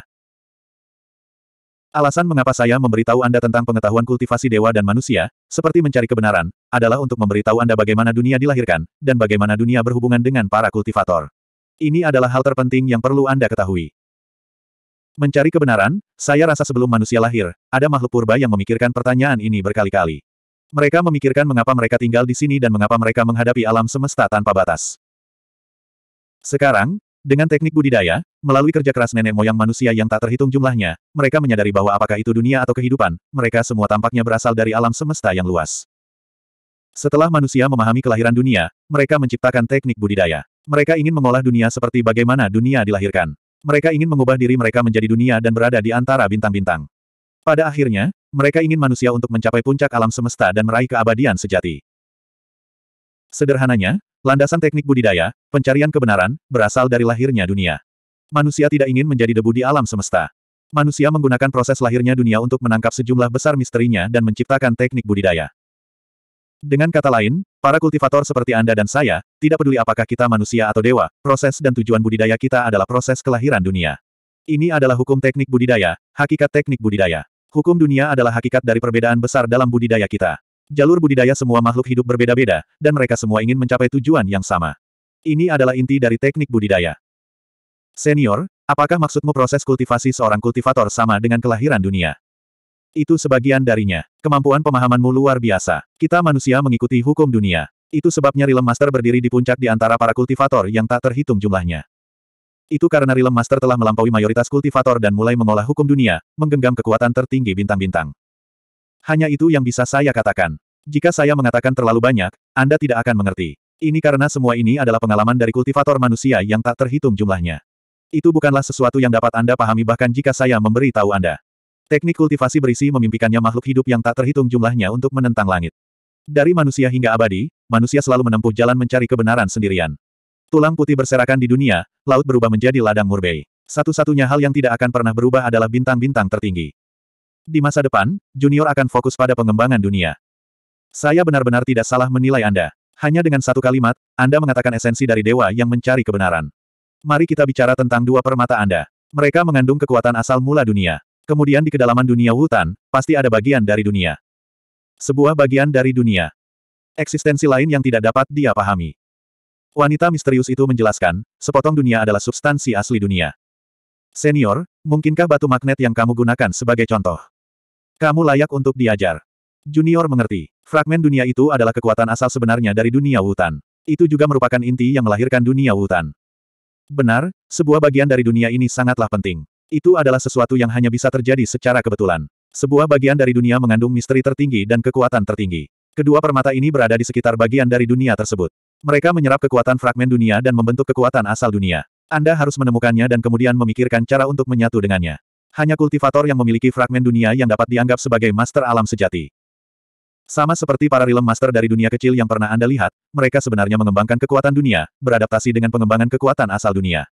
Itu juga demi mendapatkan bagian dari dunia di masa depan. Senior, terima kasih atas penjelasanmu. Junior akan pergi mencari pecahan dunia sebentar lagi. Dia akhirnya mengerti, tapi dia masih bingung. Seolah-olah pencarian kebenaran, esensi, kelahiran dunia, dan sebagainya, yang baru saja disebutkan oleh wanita misterius itu, menjadi kabur. Penasaran, dia menceritakan hal ini kepada wanita misterius itu. Penjelasannya membuat Su Fang cepat memahaminya, karena itu adalah misteri tertinggi yang memerlukan pengembangan, pengalaman, dan pengukiran dalam hati Dao seseorang. Hanya dengan cara itulah seseorang dapat mengingatnya, dan hanya dengan memahaminya seseorang dapat menjadi abadi. Ini adalah pencarian kebenaran. Seseorang harus tahu bahwa pada akhir kultivasi, seseorang harus mengandalkan diri sendiri untuk berkultivasi. Pengambil kesengsaraan. Selanjutnya, Su Fang memanfaatkan kesempatan itu dan mulai menanyakan pertanyaan kedua yang ingin dia ketahui. Pengambil kesengsaraan. Setelah mendengar ini, wanita misterius itu awalnya sedikit terkejut. Ada banyak kultivator di dunia ini yang akan memperoleh kekuatan luar biasa karena banyaknya peluang. Jumlah pengambil kesengsaraan sangat sedikit. Pengambil kesengsaraan hanya lahir ketika dunia mengalami metamorfosis. Rumor mengatakan bahwa pengambil kesengsaraan memiliki kekuatan yang tidak diketahui dari alam semesta. Metamorfosis. Kekuatan mereka tak terduga, dan kemampuan mereka menakjubkan. Mereka sering kali bisa mencapai keajaiban yang semua orang anggap mustahil. Namun, rumor mengatakan bahwa pengambil kesengsaraan bagaikan meteor yang melesat di langit. Mereka tidak akan abadi. Penampilan dan budidaya mereka misterius, dan tak seorang pun benar-benar memahaminya. Su Fang menghela napas. Junior mengenal dua orang kultivator yang sama-sama merupakan pengambil kesengsaraan. Terlebih lagi, mereka berdua lahir setelah dua matahari dewa muncul di langit satu demi satu. Belum lama ini, seseorang mengatakan bahwa saya juga memiliki bagian dari kekuatan pengambil kesengsaraan, jadi saya, aku sangat penasaran tentang mereka. Tribulation Tucker juga seorang kultivator. Metamorfosis sering kali memiliki keberuntungan untuk mengubah dunia. Keberuntungan dan kemalangan berjalan beriringan. Anda harus fokus pada pengembangan kekuatan dunia dan transformasi sembilan matahari sembilan. Setelah wanita misterius itu selesai berbicara, dia menghilang bersama udara dingin. Selamat tinggal, senior. Setelah membungkuk, dia berdiri lama sekali. Dia segera kembali ke tubuh aslinya dan menyerap kekuatan asal dunia pada kedua batu permata tersebut. Matanya berbinar. Fragmen dunia, keberadaan seperti apa kamu? Matanya dipenuhi ketidaksabaran. Dia segera menggunakan kekuatan elemen tanahnya untuk melintasi istana bawah tanah dan melepaskan kekuatan penginderaannya untuk mencari fragmen dunia. 816. Kecepatan Sufang menjadi semakin cepat saat dia bergerak melewati kedalaman bumi. Setelah beberapa jam, dia semakin dekat dengan inti dunia. Inti. Itu seperti inti emas dalam dantian seorang kultivator. Intinya adalah dantian, dan inti emas adalah intinya. Itu adalah inti dari dunia. Jika alam hutan terbentuk karena pecahan dunia, maka ia hanya bisa berada di satu tempat, inti dunia. Su Fang, yang sedang bepergian, sudah sangat lambat. Ketika dia mendekati inti, dia berlari seperti manusia. Ini merepotkan. Alasan kecepatannya yang lambat bukan karena konsumsi vital ki, tetapi karena batuan di inti dan intinya sangat keras. Mereka diperkirakan setidaknya sama kerasnya dengan pagoda enam jalan Suan Huang atau bahkan pedang siang berbintang. Kekerasan bebatuan membuat sihir tipe tanah Su Fang sulit untuk melewatinya. Dengan kekuatannya saat ini, dia hanya bisa bergerak maju dengan berjalan kaki. Kemudian, vital kinya mulai dikonsumsi. Setiap langkah yang diambilnya sulit. Jika bukan karena sihir tipe bumi, akan sulit baginya untuk berjalan dengan kekuatannya sendiri. Ketika dia akhirnya mencapai inti, dia tidak bisa lagi bergerak maju. Inti itu seperti dua permata yang dia peroleh sebelumnya. Itu penuh dengan kekuatan dunia. Kekuatannya terlalu dalam dan tidak terbatas. Su Fang merasa bahwa dia telah sampai di bagian terdalam dunia. Berdiri di depan dunia yang agung, dia terlalu kecil. Batu intinya tidak hanya memiliki kekuatan tetapi juga kekuatan bintang-bintang. Warna batunya juga hitam berbintang, sangat berbeda dengan lapisan luar intinya. Dia juga menemukan bahwa tampaknya kekerasan bagian terdalam dari inti lebih tinggi daripada pedang siang berbintang dan harta sihir apa pun di dunia fana. Diperkirakan itu sama sulitnya dengan artefak Dao. Di masa lalu, saya secara naif berpikir bahwa seorang kultivator dari alam pemakan ki ke alam peri dan menjadi eksistensi yang melampaui segalanya. Itu adalah kesalahan besar. Jika kekuatan seorang kultivator alam peri hanya ada di alam peri, bagaimana caranya? Mungkinkah dunia kecil ada di galaksi yang luas? Ia akan dihancurkan oleh kekuatan galaksi seperti badai antar bintang.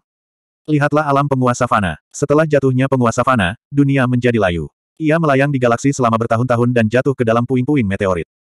Pasti terkena meteorit berulang kali, tapi ia masih berdiri di galaksi, megah dan tak bergerak.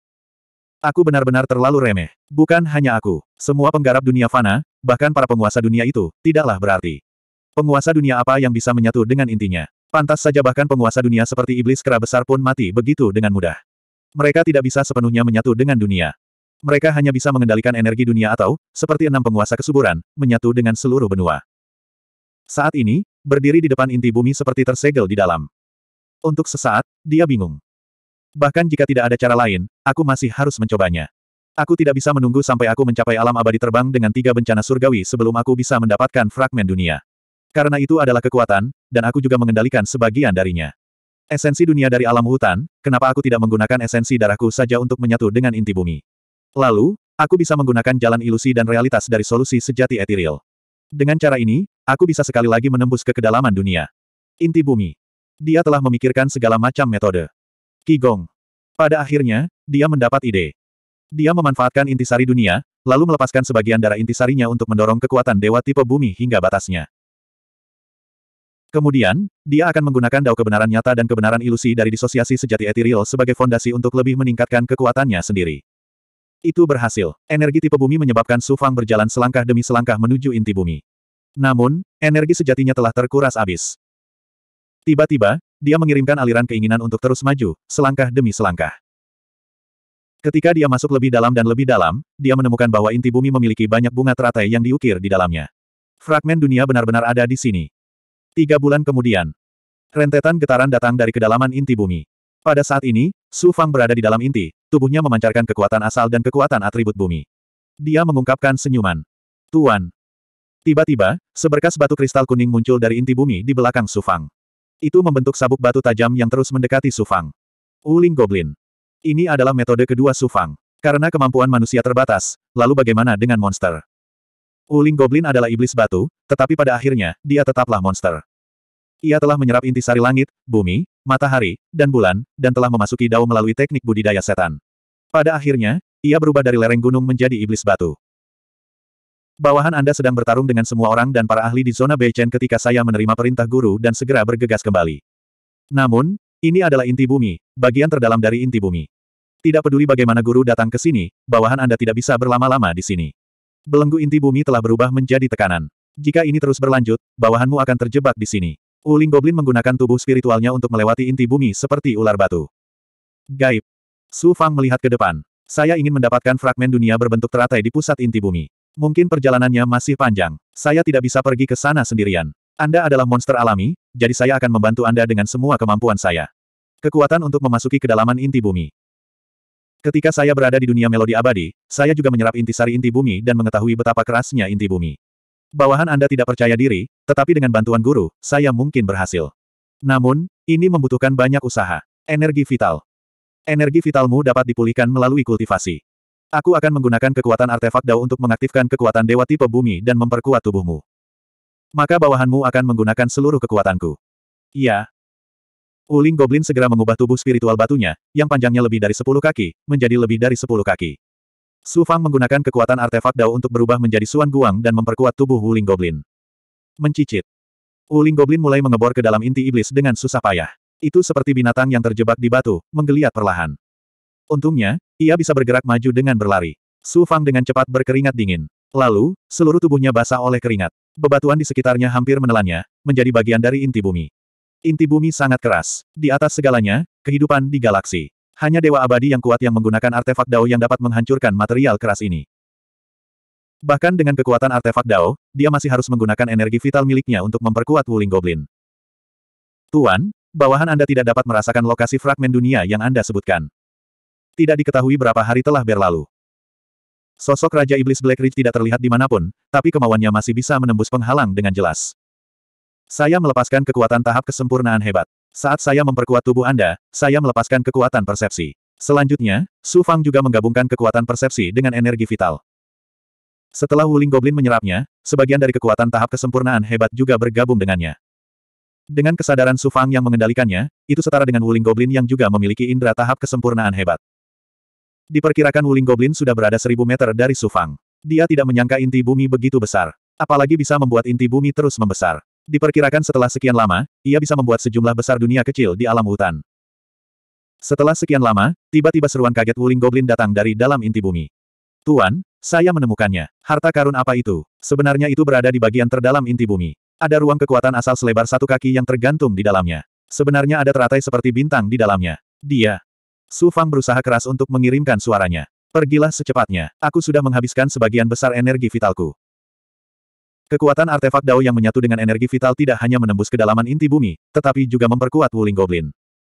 Untungnya, dia memperoleh fragmen dunia.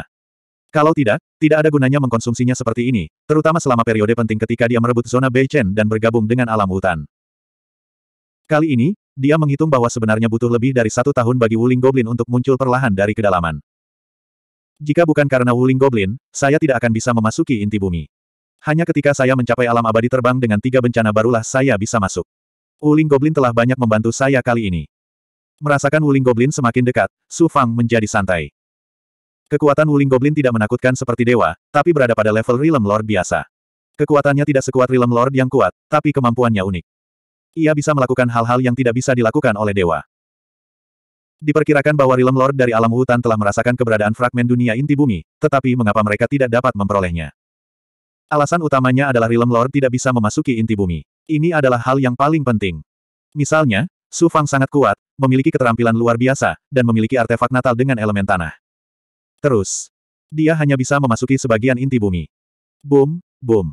Inti bumi di depan mereka tiba-tiba bergetar. Cahaya yang menyilaukan datang dari inti bumi. Uling Goblin sepertinya sedang berenang di inti bumi. Ayo pergi. Keduanya segera bertemu dan menggunakan sisa energi terakhir untuk meninggalkan inti bumi. Setelah sekian lama, keduanya akhirnya meninggalkan inti bumi dan sampai di inti bumi. Di saat yang sama, Su Fang dan Wuling Goblin sangat lelah. Mereka memperkirakan bahwa mereka hanya memiliki sepersepuluh dari kekuatan biasanya. Wuling Goblin tiba-tiba mengeluarkan segel roh, Tuan, harta karun yang Anda inginkan. Saya tidak menyangka akan ada harta karun mengerikan yang tersembunyi di inti bumi. Cahaya roh melayang keluar, cahaya berbintang yang dalam dilepaskan darinya, dan membawa rasa dingin yang menusuk. Bahkan Wuling Goblin pun takut dibekukan oleh cahaya berbintang ini. Di dalam cahaya itu, ada cahaya berbintang. Cahaya berbintang adalah teratai hitam yang merembes keluar. Kelihatannya seperti aslinya, tapi itu bukan teratai sungguhan. Anehnya, benda itu sepertinya tidak terbuat dari batu, juga tidak terbuat dari batu giok. Sulit untuk mengetahui apa itu teratai hitam. Tuan, harta karun ini sungguh luar biasa. Hanya seukuran kepalan tangan, tetapi kekuatan yang dikandungnya sebanding dengan seluruh inti bumi. Ini adalah sumber dari seluruh dunia hutan. Ini adalah bagian dari sebuah dunia. Saya tidak tahu harta apa itu. Dunia hutan perlahan terbentuk karena harta karun ini. Jika kita mengambil harta ini, bukankah energi dunia Wutan akan layu? Tidak akan. Lihatlah inti bumi dan inti bumi. Ia dipenuhi dengan kekuatan dunia. Dunia telah lama dibentuk oleh pecahan dunia ini.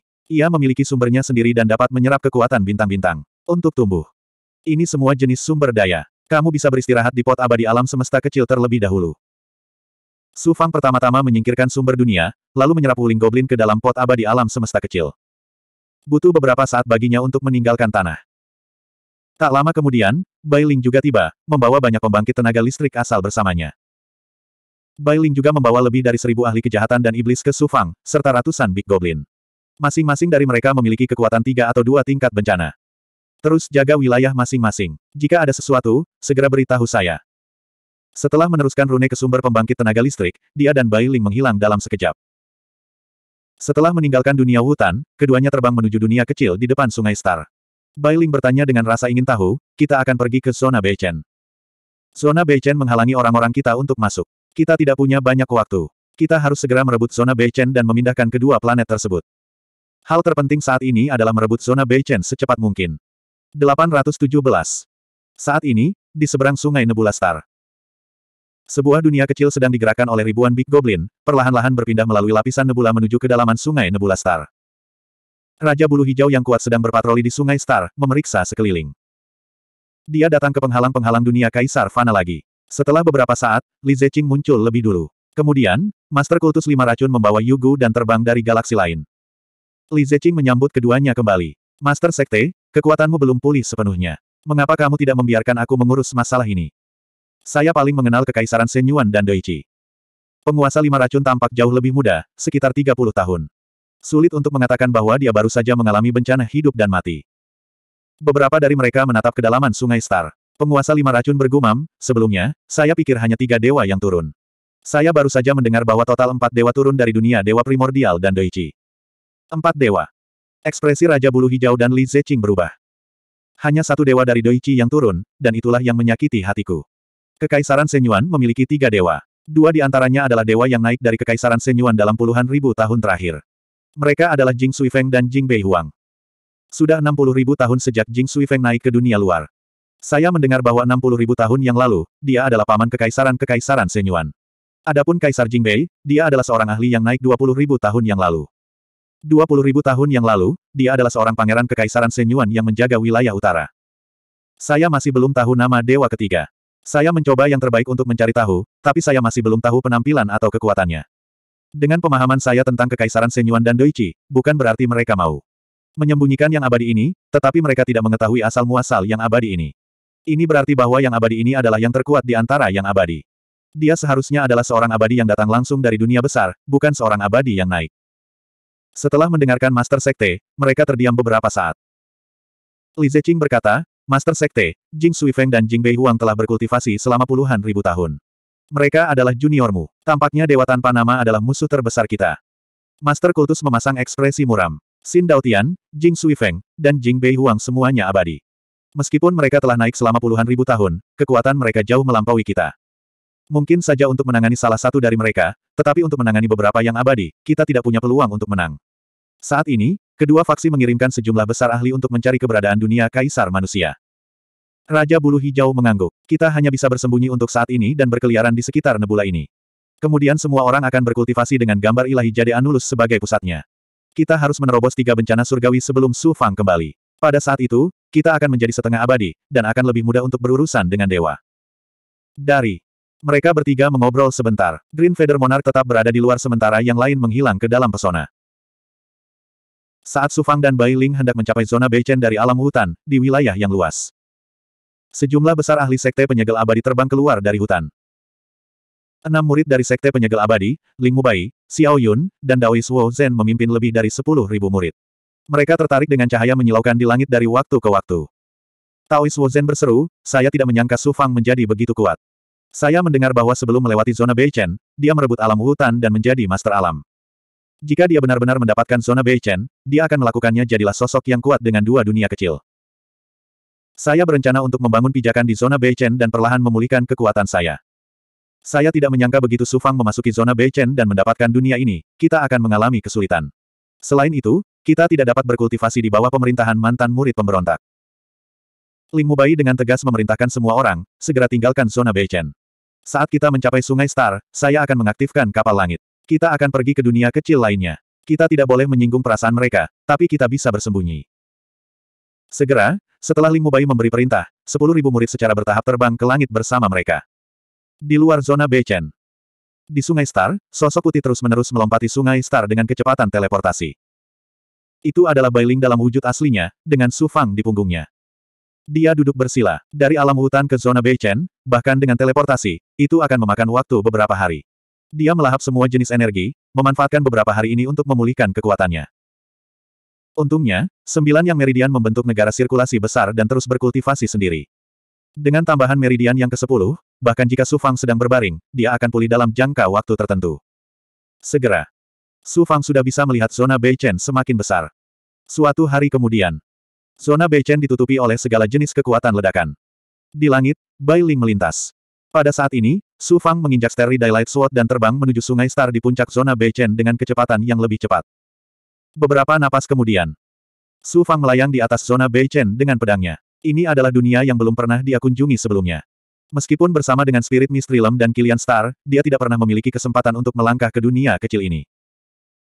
Bailing berubah wujud menjadi manusia dan menghampiri, saudaraku, ada begitu banyak ahli asal dari zona Beichen.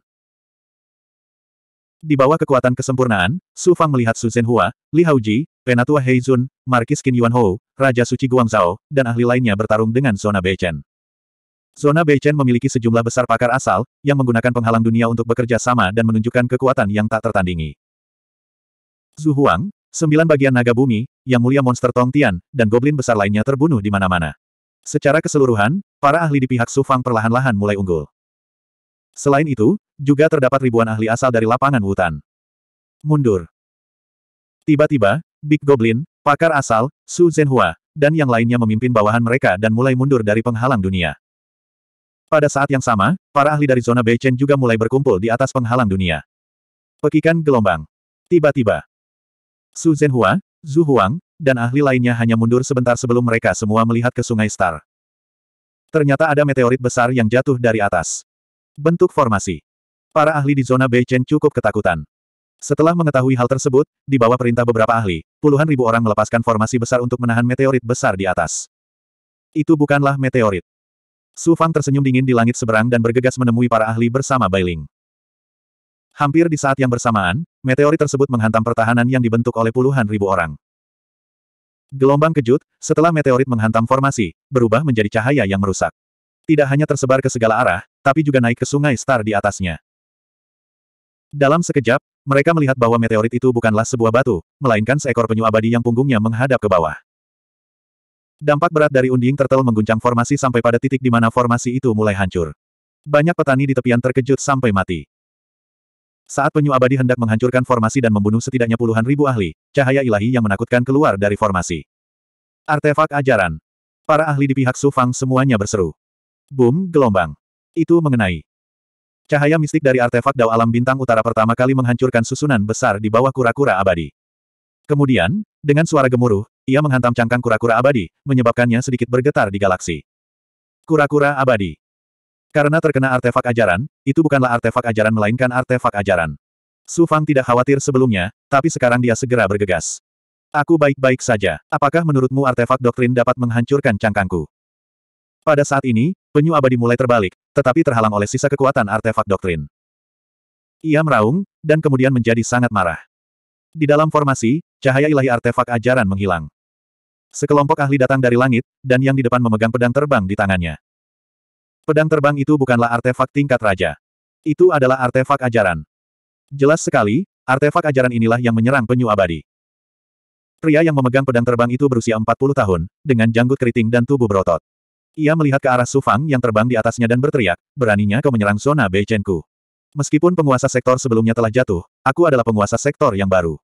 Kau tidak bisa mengambil alih zona Beichenku seperti yang kau lakukan pada lapangan hutan. Dengan artefak doktrin, Anda dapat melindungi zona Beichen. Su Fang datang dari sisi penyu abadi. Melihat penyu abadi baik-baik saja, dia merasa lega. Kemudian, Bai Ling, Zhu Huang, sembilan bagian naga bumi, Yang Mulia Monster Tong Tian, Raja Goblin berkepala sembilan, Su Zhenhua, Li Haoji, dan beberapa ahli lainnya juga datang. Oh! Pada saat ini, pandangan Su Fang tidak tertuju pada penguasa zona Beichen, tapi tidak jauh di belakang penguasa sektor yang berotot ini, terdapat seorang kultivator yang sangat muda berusia kurang dari 30 tahun yang mengenakan jubah putih, namun dia menarik perhatian Su Fang. Pria itu sepertinya sengaja bersembunyi, tetapi Su Fang menatapnya di depan umum. Pada saat ini, dia juga datang ke sisi penguasa zona Beichen. Li Haoji berseru, itu abadi. Yang abadi. Su Zhenhua, yang mulia monster Tong Tian, dan para ahli lainnya merasakan kulit kepala mereka kesemutan. Itu sebenarnya adalah seorang abadi. Mereka benar-benar tidak menyangka akan ada makhluk abadi di zona Beichen. Aku tidak menyangka identitasku akan diketahuimu secepat ini. Jubah putih immortal muda berkibar, dan immortal rune mulai muncul. Semuanya, banyak di antara kita yang memiliki artefak ajaran. Meskipun orang ini adalah seorang immortal, dia terluka parah. Jika kita menggunakan artefak ajaran untuk menyerang dan membuatnya lengah, kita pasti bisa membunuhnya. Su Fang diam-diam memperingatkan para ahli di sekitarnya. Semua orang menahan napas dalam diam. Su Fang memandang yang abadi lagi dan tersenyum. Saat itu, ketika para ahli dari zona Beichen mengambil gerbang Sianza di alam hutan, aku melihatmu secara diam-diam, jadi tentu saja aku memiliki kesan padamu. Yang abadi mendengus kaget. Kupikir kamu, Su Fang, yang diam-diam bergabung dengan gerbang Sianza dan menghilangkannya. Sepertinya bukan kamu. Jika saya memiliki gerbang Sianza, saya tidak perlu membuang banyak tenaga. Anda seorang abadi, jadi kita bisa bekerja sama. Bagaimanapun, tidak akan lama lagi saya akan naik ke dunia besar.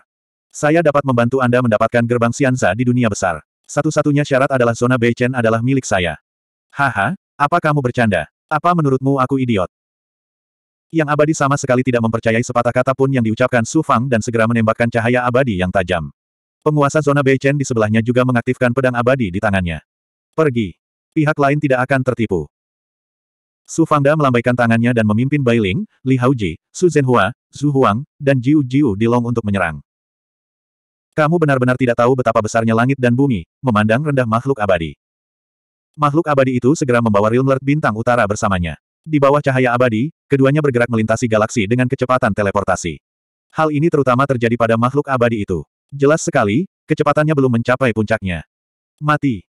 Penguasa zona Beichen segera membentuk segel tangan. Pedang terbang di tangannya segera mengeluarkan cahaya dao yang menyilaukan. Sejumlah besar energi pedang mengalir menuju enam master dengan pedang abadi sebagai pusatnya. Taring singa yang ganas. Pada saat ini, kecepatan pedang surgawi bahkan lebih menakjubkan. Pada saat ini, sembilan segmen naga bumi dari enam ahli tiba-tiba berubah menjadi wujud aslinya. Dia terbang di udara dan mengeluarkan seberkas cahaya abadi dari mulutnya. Ledakan. Taring singa kekerasan bentrok dengan pedang abadi. Wus, wus gelombang. Di belakang. Saat penguasa zona Beichen dan Yang Abadi terkejut melihat goblin besar menggunakan artefak ajaran, cambuk panjang datang dari samping. Itu juga merupakan artefak ajaran. 818. Dari mana dia mendapatkan begitu banyak artefak ajaran? Itu mungkin satu-satunya pemikiran di benak penguasa zona Beichen, Yang Abadi, dan ratusan ribu prajurit dari zona Beichen. Desir gelombang. Yang Abadi tiba-tiba mulai bergerak.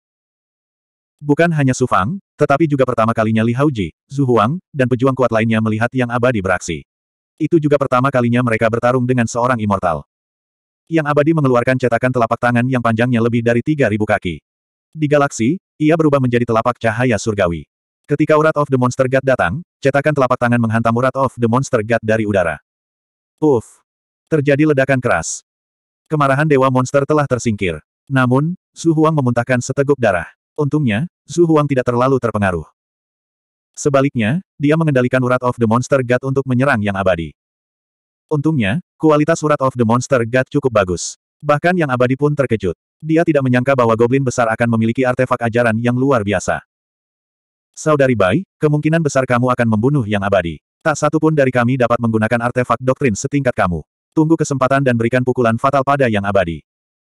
Di galaksi, sudah ada dua goblin besar yang menggunakan artefak doktrin mereka untuk melawan para pejuang yang kuat. Su Fang dan Li Haoji juga akan bergerak. Namun sebelum mereka melakukannya, Su Fang diam-diam menyuruh Bai Ling untuk tidak melakukan apa pun. Di antara mereka, tidak ada yang lebih baik dari Bai Ling dalam hal pembunuhan. Bai Ling adalah kekuatan luar terbesar yang bisa dipinjam Su Fang. Saudara Fang, hari ini, kita akan memberi pelajaran pada dewa ini. Saat mereka berbicara, Su Fang dan Li Haoji sudah menuju ke arah yang abadi. Kita tetap harus bersikap strategis. Tapi Su Fang memberi isyarat kepada Li Haoji. Kemudian, alih-alih memilih yang abadi, mereka memilih Master Zona Beichen. Penguasa Zona Beichen bukanlah seorang abadi dan dia memiliki artefak ajaran. Jika kita tidak menyingkirkannya, tidak akan mudah bagi kita untuk membunuh yang abadi. Mari kita singkirkan dia terlebih dahulu dan kemudian bekerja sama untuk menghadapi yang abadi. Hehe, rencana bagus. Kamu dan sembilan naga bumi bekerja sama dan menyerang penguasa zona Beichen. Lalu, Aku akan menggunakan pedang siang berbintang untuk membunuhnya. Itu bukan masalah. Gigi singa kekerasan naga bumi sembilan bagian juga sangat kuat. Tak lama kemudian, keduanya memiliki pembagian kerja tertentu. Li Haoji meningkatkan kecepatannya. Dia menghindari pedang abadi dari belakang dan tiba di belakang zona Beichen.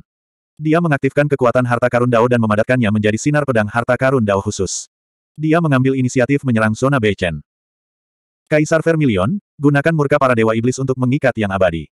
Setelah kami menyingkirkan penguasa zona Beichen, kami akan segera bergabung denganmu dalam membunuh yang abadi. Pada saat itu, Su Fang mengirimkan pesan mental kepada Kaisar Vermilion. Penguasa abadi, bantu aku. Hanya dalam beberapa saat, penguasa zona Beichen diserang oleh kekuatan dua harta karun Dao. Dia sangat menderita. Terlebih lagi, dia baru saja menjadi penguasa sektor, dan ini adalah pertama kalinya dia mengalami serangan yang begitu mengerikan. Dia mulai meminta bantuan makhluk abadi. Namun, Urat of the Demon God melesat seperti anak panah dari galaksi antara dia dan makhluk abadi, mencegah makhluk abadi berjubah putih membantu penguasa zona Beichen. Pada saat ini, para dewa tidak memiliki kekuatan absolut untuk membunuh Kaisar Vermilion dalam waktu singkat. Kaisar Vermilion juga merupakan binatang kuno yang bermutasi, namun ia bisa dibunuh begitu saja olehnya. Dia menggunakan sayap Vireclut. Dengan menggunakan Vireclut Steps, Su Fang menembakkan ilusori Vireclut Cloud dalam jumlah besar, yang berubah menjadi Vireclut Sabre tanpa bentuk. Cahaya dao dan api dalam jumlah besar memenuhi langit saat mereka menyerang penguasa zona Beichen. Penguasa zona Beichen menggunakan pedang abadinya dan mengubahnya menjadi penghalang pertahanan. Jika bukan karena harta dao, ketiganya bahkan tidak perlu bekerja sama. Salah satu dari mereka akan mampu membunuhnya. Inilah kesempatanku. Penguasa zona Beichen diserang dari tiga sisi, dan ki sejatinya sangat terkuras. Penghalang pertahanan pedang abadi tidak mampu menyelimuti dirinya sepenuhnya. Mata Sufang bersinar terang. Sambil menyeringai, dia mengaktifkan Starry Daylight Sword dan segera berubah menjadi cahaya putih tak berbentuk. Mengikuti cahaya itu, dia diam-diam mendekati penguasa zona Beichen. Pada saat itu, Li Haoji dan Naga Bumi Sembilan Segmen merasakan pesan mental Su Fang pada saat yang sama, dan meningkatkan serangan mereka ke tingkat yang lebih menakutkan. Kedua kekuatan itu hampir menenggelamkan penguasa zona Beichen. Dia hanya bisa melihat pedang abadi menembakkan energi pedang, dan kekuatan pedang abadi itu sendiri menghancurkan dua kekuatan lapis demi lapis. Membunuh. Su Fang mengatupkan kedua tangannya, lalu tiba-tiba memisahkannya di galaksi. Uff. Jauh di dalam, di bawah penghalang pedang abadi. Penguasa zona Beichen berada dalam keadaan panik. Dia sama sekali tidak mengharapkan hal ini. Dia berpikir bahwa dengan kehadiran makhluk abadi, dia bisa mengabaikan musuh mana pun di dunia kecil. Baru saja, Ketika dia menyadari bahwa dia telah melakukan kesalahan besar dan masih berharap bahwa makhluk abadi akan datang menyelamatkannya, seberkas cahaya tiba-tiba menebas leher penguasa zona Beichen. Kepalanya segera dipisahkan dari tubuhnya, dan pedang siang berbintang juga terlihat berlumuran darah. Us, gelombang. Serangan pedang abadi menghilang, dan Su Fang berteleportasi ke sisi penguasa zona Beichen. Dia melambaikan tangannya dan mengeluarkan seberkas cahaya. Pertama, dia dengan paksa menyedot pedang abadi ke dalam mini universe Divine Flash, dan kemudian dia menyedot mayat penguasa zona Beichen ke tengah sembilan meridian yang. Dia membiarkan sembilan meridian yang, yang berada di tengah sirkulasi besar, secara otomatis memurnikan dan melahap kekuatan penguasa zona Beichen. Brengsek. Penguasa zona Beichen terbunuh dalam sekejap. Yang abadi menatap lekat-lekat pemandangan ini. Tidak diketahui betapa marahnya dia. Tiba-tiba, makhluk abadi akhirnya mengaktifkan artefak doktrinnya. Dia mengeluarkan pedang abadi sepanjang tiga kaki. Segera setelah pedang abadi itu dikeluarkan, pola jalan agung yang menakjubkan muncul. Pancaran cahaya dari pedang abadi jelas lebih kuat daripada taring singa kekerasan dan murka dewa monster. Itu karena makhluk abadi dapat sepenuhnya mengaktifkan kekuatan artefak ajaran sementara manusia hanya dapat menggunakan kurang dari setengah kekuatannya. Sebagian besar pejuang yang kuat bahkan tidak dapat mengaktifkan sebagian kecil dari artefak ajaran. Cahaya bersinar. Yang abadi menghentakkan kakinya dan galaksi di sekitarnya mulai bergerak. Dia mengeluarkan pedangnya dan menebas surat of the Monster God. Dentang. Urat of the Monster God tidak secepat pedang abadi. Pertama, pancaran cahaya menghantam pedang abadi, menyebabkan urat of the Monster God bergetar di udara. Kemudian, pedang abadi itu sendiri menebas di pertempuran Dewa Monster.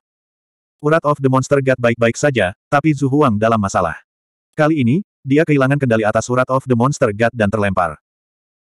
Yang abadi berdiri di udara dan melangkah menuju urat of the Monster God. Dia tertawa bangga. Haha, artefak ajaran ini lumayan. Saya akan mengambilnya. Us, us gelombang.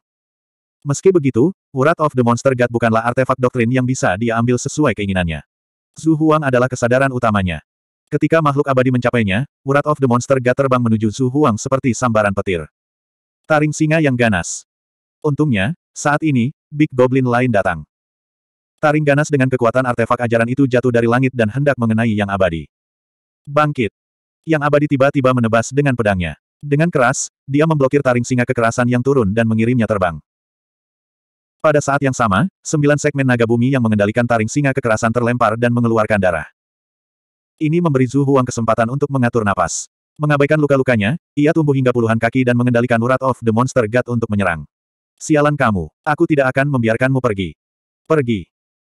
Pada saat ini, dua sosok tiba-tiba muncul di galaksi yang mengelilingi yang abadi, satu di kiri dan satu lagi di kanan. Zhu Huang juga datang. Ketiga pihak menggunakan artefak doktrin mereka. Menguasai. Pakar lain juga datang. Itu adalah Su Zhenhua. Dengan cara ini, keempat ahli mengepung yang abadi. Selain itu, naga bumi sembilan segmen dengan cepat pulih dan mengendalikan taring singa kekerasan untuk menyerang. Bai Ling juga perlahan mendekat. Dia tidak berniat untuk bergerak. Yang abadi berada dalam kondisi serangan terus-menerus. Dia melirik ketiga ahli manusia, dan kemudian ke Kaisar Vermilion. Sepertinya aku meremehkanmu. Kamu tidak hanya memiliki item Dao, tetapi kamu juga dapat menggunakannya sedemikian rupa.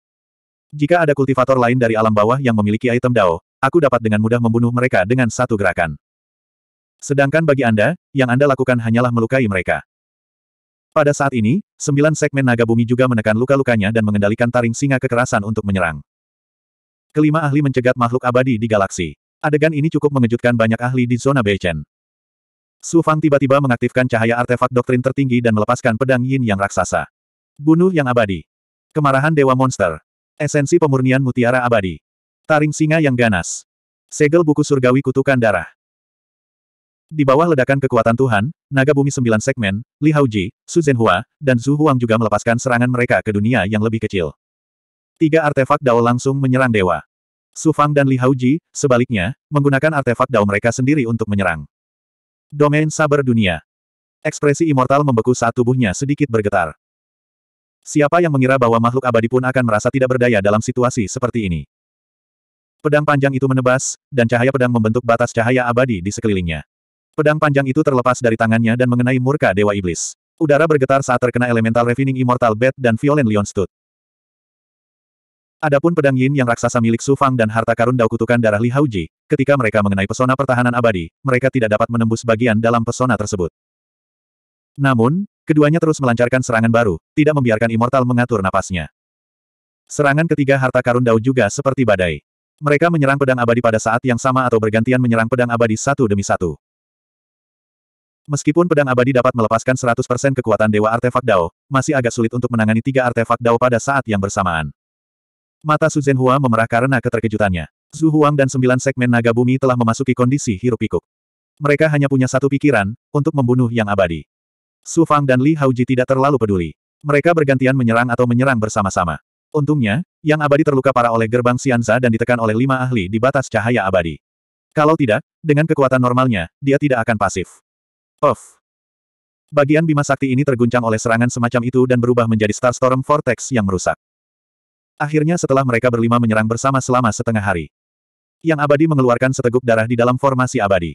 Dunia abadi di sekelilingnya mulai hancur. Huff. Pada saat berikutnya, yang abadi menciptakan sejumlah besar hantu.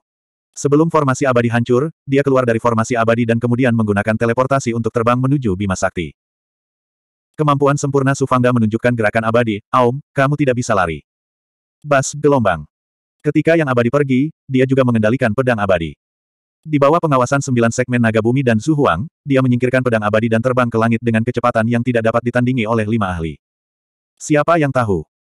Lingkaran seperti cincin, seperti pedang siang berbintang, tiba-tiba berguling di depan yang abadi. Faktanya, lingkaran itu sudah muncul sebelumnya, tapi itu hanya cincin biasa, dan tidak memiliki momentum, jadi dewa yang sedang terburu-buru tidak menyadarinya. Ketika dia muncul, lingkaran itu telah berubah menjadi cincin roh leher surgawi yang berukuran lebih dari sepuluh kaki, dan kecepatan serangannya lebih cepat daripada teleportasi. Yang abadi sangat ketakutan sehingga dia buru-buru melepaskan pertahanan. Dari matanya yang gelisah, dapat dibayangkan bahwa dia telah melihat cincin roh leher surgawi adalah artefak Dao. Pada jarak seperti itu, dia hanya bisa melepaskan pertahanan formasi abadi. Boom gelombang-gelombang. Tanpa diduga, cincin roh leher surgawi menghantam pertahanan dewa dan memenggal kepalanya. Dengan keras, kepalanya hancur berkeping-keping oleh sisa kekuatan artefak Dao. Cincin roh leher surgawi tiba-tiba terbalik, dan ketika tubuh dewa sedang berjuang, itu menutupi tubuh dengan kecepatan kilat. Kubilang kamu tidak bisa lari, kan? Peri Bangau Bailing terbang dan mengendalikan cincin roh leher surgawi. Tubuh immortal tanpa kepala masih berjuang. Su Fang muncul di atas zona Beichen dan melihat ke arah puluhan ribu ahli, semua ahli di zona Beichen. Dengarkan, Master Sektor dan Dewa saat ini telah mati di tanganku. Jika kamu masih ingin melawan, lalu bersiaplah untuk dikuburkan bersama mereka. Ancaman seperti itu tidak diperlukan. Puluhan ribu ahli telah melihat jatuhnya Master Zona Beichen dengan mata kepala mereka sendiri, dan yang abadi juga terbunuh. Mereka sudah memutuskan untuk menghentikan perlawanan. 819. Sekarang kita akhirnya memiliki dua dunia kecil. Su Zhenhua, Li Haoji, Zhu Huang, dan sembilan segmen naga bumi kelelahan. Mereka berteriak dan memimpin Big Goblin, para ahli, Su Fang, dan Bai Ling ke zona Beichen. Para ahli dari mantan penguasa zona Beichen hanya bisa menyaksikan tanpa daya ketika pasukan tiba di zona Beichen. Hal ini mirip dengan situasi domain Wutan di masa lalu. Penggarap yang tak terhitung jumlahnya dari zona Beichen berkumpul di bawah, tapi jelas bukan giliran mereka untuk bertindak. Penguasa zona Beichen mengandalkan yang abadi dan berpikir bahwa dia bisa mengalahkan Su Fang dengan kekuatannya sendiri. Dia tidak menyangka bahwa dia akan mati di bawah pedang Su Fang seperti yang abadi. Masih ada ratusan ribu ahli. Peradaban budidaya di zona Beichen tidak sekuat domain Zuotian dan domain Wutan, namun masih lebih kuat dari domain Kilian. Di hadapan perwakilan yang tak terhitung jumlahnya, Su Fang dengan tegas melepaskan suara iblis. Sejak saat itu, dia menguasai zona Beichen, dan tidak ada yang berani mengucapkan sepatah kata pun. Dia segera memerintahkan para penggarap asal zona Beichen, puluhan ribu orang, untuk bermigrasi ke zona Beichen. Yu Yingying memimpin para ahli untuk memberikan dukungan, berpikir bahwa mereka akan sangat membantu. Siapa yang menyangka Su Fang bisa mengambil alih zona Beichen dengan begitu cepat? Dia hanya bisa memimpin para ahli ke domain Wutan untuk membantu Su Fang bermigrasi ke dunia kecil. Su Fang juga memerintahkan beberapa ahli untuk bergegas ke wilayah kedaulatan manusia untuk memberitahu pemimpin sekte, Raja Bulu Hijau, dan Li Zeqing tentang kabar baik tersebut. Tidak lama kemudian, domain Wutan dan zona Beichen akan bermigrasi ke Sungai Star. Diperkirakan dalam beberapa tahun, kedua dunia kecil akan bertemu di Sungai Bintang yang sama. Bagi Su Fang, hal terpenting saat ini adalah menggabungkan zona Beichen dan domain Wutan. Sayangnya, budidayanya tidak cukup untuk menggabungkan dua dunia sekaligus. Dia hanya bisa menggabungkan zona Beichen terlebih dahulu. Penguasa enam tanah subur secara pribadi datang untuk memberi selamat kepada Su Fang dan mengambil inisiatif untuk mengatakan bahwa jika Su Fang memiliki kebutuhan di masa depan, domain kabut spiritual akan melakukan yang terbaik untuk membantu. Yang terpenting, dia menyampaikan pengalamannya menggabungkan dunia kepada Su Fang tanpa syarat. Pada saat ini, di wilayah megah zona Beichen, di dalam penghalang yang melayang di udara. Su Fang mendengarkan pengalaman budidaya enam tanah subur, sambil diam-diam menyerap energi esensi dunia zona Beichen. Inti dari domain Raja Rilem Raja-Raja. Saya mendengar bahwa itu adalah domain inti-inti dunia kecil-kecil. Inti dari Raja Rilem Raja-Raja-Raja. Inti-inti sama kerasnya dengan artefak tingkat Raja. Saya malu dengan core score. Inti sama kerasnya dengan artefak tingkat Dao, bahkan mungkin lebih sulit daripada artefak tingkat Dao. Tidak ada yang tahu tentang hal itu. Realm Lord of the Spiritual Mist Domain yang lalu semuanya telah bergabung dengan inti asal esensi, batu yuan asal, dan beberapa energi roh dunia di sekitar inti. Berdasarkan pemahaman saya tentang Realm Lord, belum pernah ada Realm Lord yang benar-benar dapat menyatu dengan kekuatan inti dan menjadi Realm Lord yang dapat menyatu sempurna dengan dunia. Junior mengetahui bahwa inti adalah inti dunia. Saya juga memperoleh sebuah fragmen dari sebuah buku di masa lalu. Baru pada saat itulah saya mengetahui bahwa esensi dunia adalah inti dari dunia kecil. Inti, dunia kecil memiliki esensi dunia yang tak terhitung jumlahnya. Saya tidak menyangka bahkan setelah penggabungan, ia masih belum bisa benar-benar menyatu dengan dunia. Seberapa sulit core-nya? Sebenarnya, kita bisa mendapatkan jawabannya dari domain Suotian. Domain Suotian. Gerbang Xianza menghilang. Dewa dan sejumlah besar ahli terjatuh. Domain Zuotian juga hampir hancur. Penghancuran penghalang dunia hanyalah masalah kecil. Semua hukum dunia di dalamnya dihancurkan oleh gerbang Xianza. Kekuatan destruktif dari gerbang Xianza Dewa dan gerbang Xianza sangat mengejutkan. Mereka menguapkan wilayah tengah domain Zuotian, dan gelombang kejut tersebut melukai domain Zuotian lagi dan lagi. Namun, hanya sepertiga dari domain Zuotian yang dihancurkan. Mayoritas dari domain Zuotian hancur. Domain Zuotian dipertahankan. Kalau begitu senior, pernahkah kamu mendengar tentang fragmen dunia? Saya tidak mempunyai kesan apa pun mengenai hal itu. Su Fang, saya tidak menyangka bahwa Anda, yang baru berkultivasi selama beberapa ratus tahun, akan mengetahui sesuatu yang bahkan para Realm Lord yang telah berkultivasi selama puluhan ribu atau ratusan ribu bertahun-tahun tidak tahu. Pada saat ini, enam penguasa kesuburan sangat memuji Su Fang dan memandangnya dengan sudut pandang baru. Su Fang tersenyum tetapi tidak mengatakan apa pun. Namun, dia merasa sangat aneh. Apakah enam penguasa kesuburan dan penguasa alam kabut roh sebelumnya tidak dapat memasuki inti dan menemukan keberadaan fragmen dunia? Atau apakah tidak ada fragmen dunia di domain inti kabut roh? Setelah mengobrol dengan enam raja, Su Fang juga mengungkapkan beberapa pemikiran dan rencananya. Ketika enam penguasa kesuburan mengetahui bahwa Su Fang akan berurusan dengan domain dewa primordial di masa depan, mereka bahkan lebih terkejut. Bagaimanapun juga, keseluruhan kekuatan domain Dewa Purba bukanlah sesuatu yang bisa dibandingkan dengan dunia kecil biasa. Setelah mengirim enam raja, Su Fang meminta para ahli di bawah komandonya mengikuti para ahli asal ke setiap sudut untuk membiasakan diri dengan zona Beichen. Dia tidak menyangka bahwa tidak lama kemudian, banyak perwakilan pasukan akan berinisiatif mengunjungi Su Fang.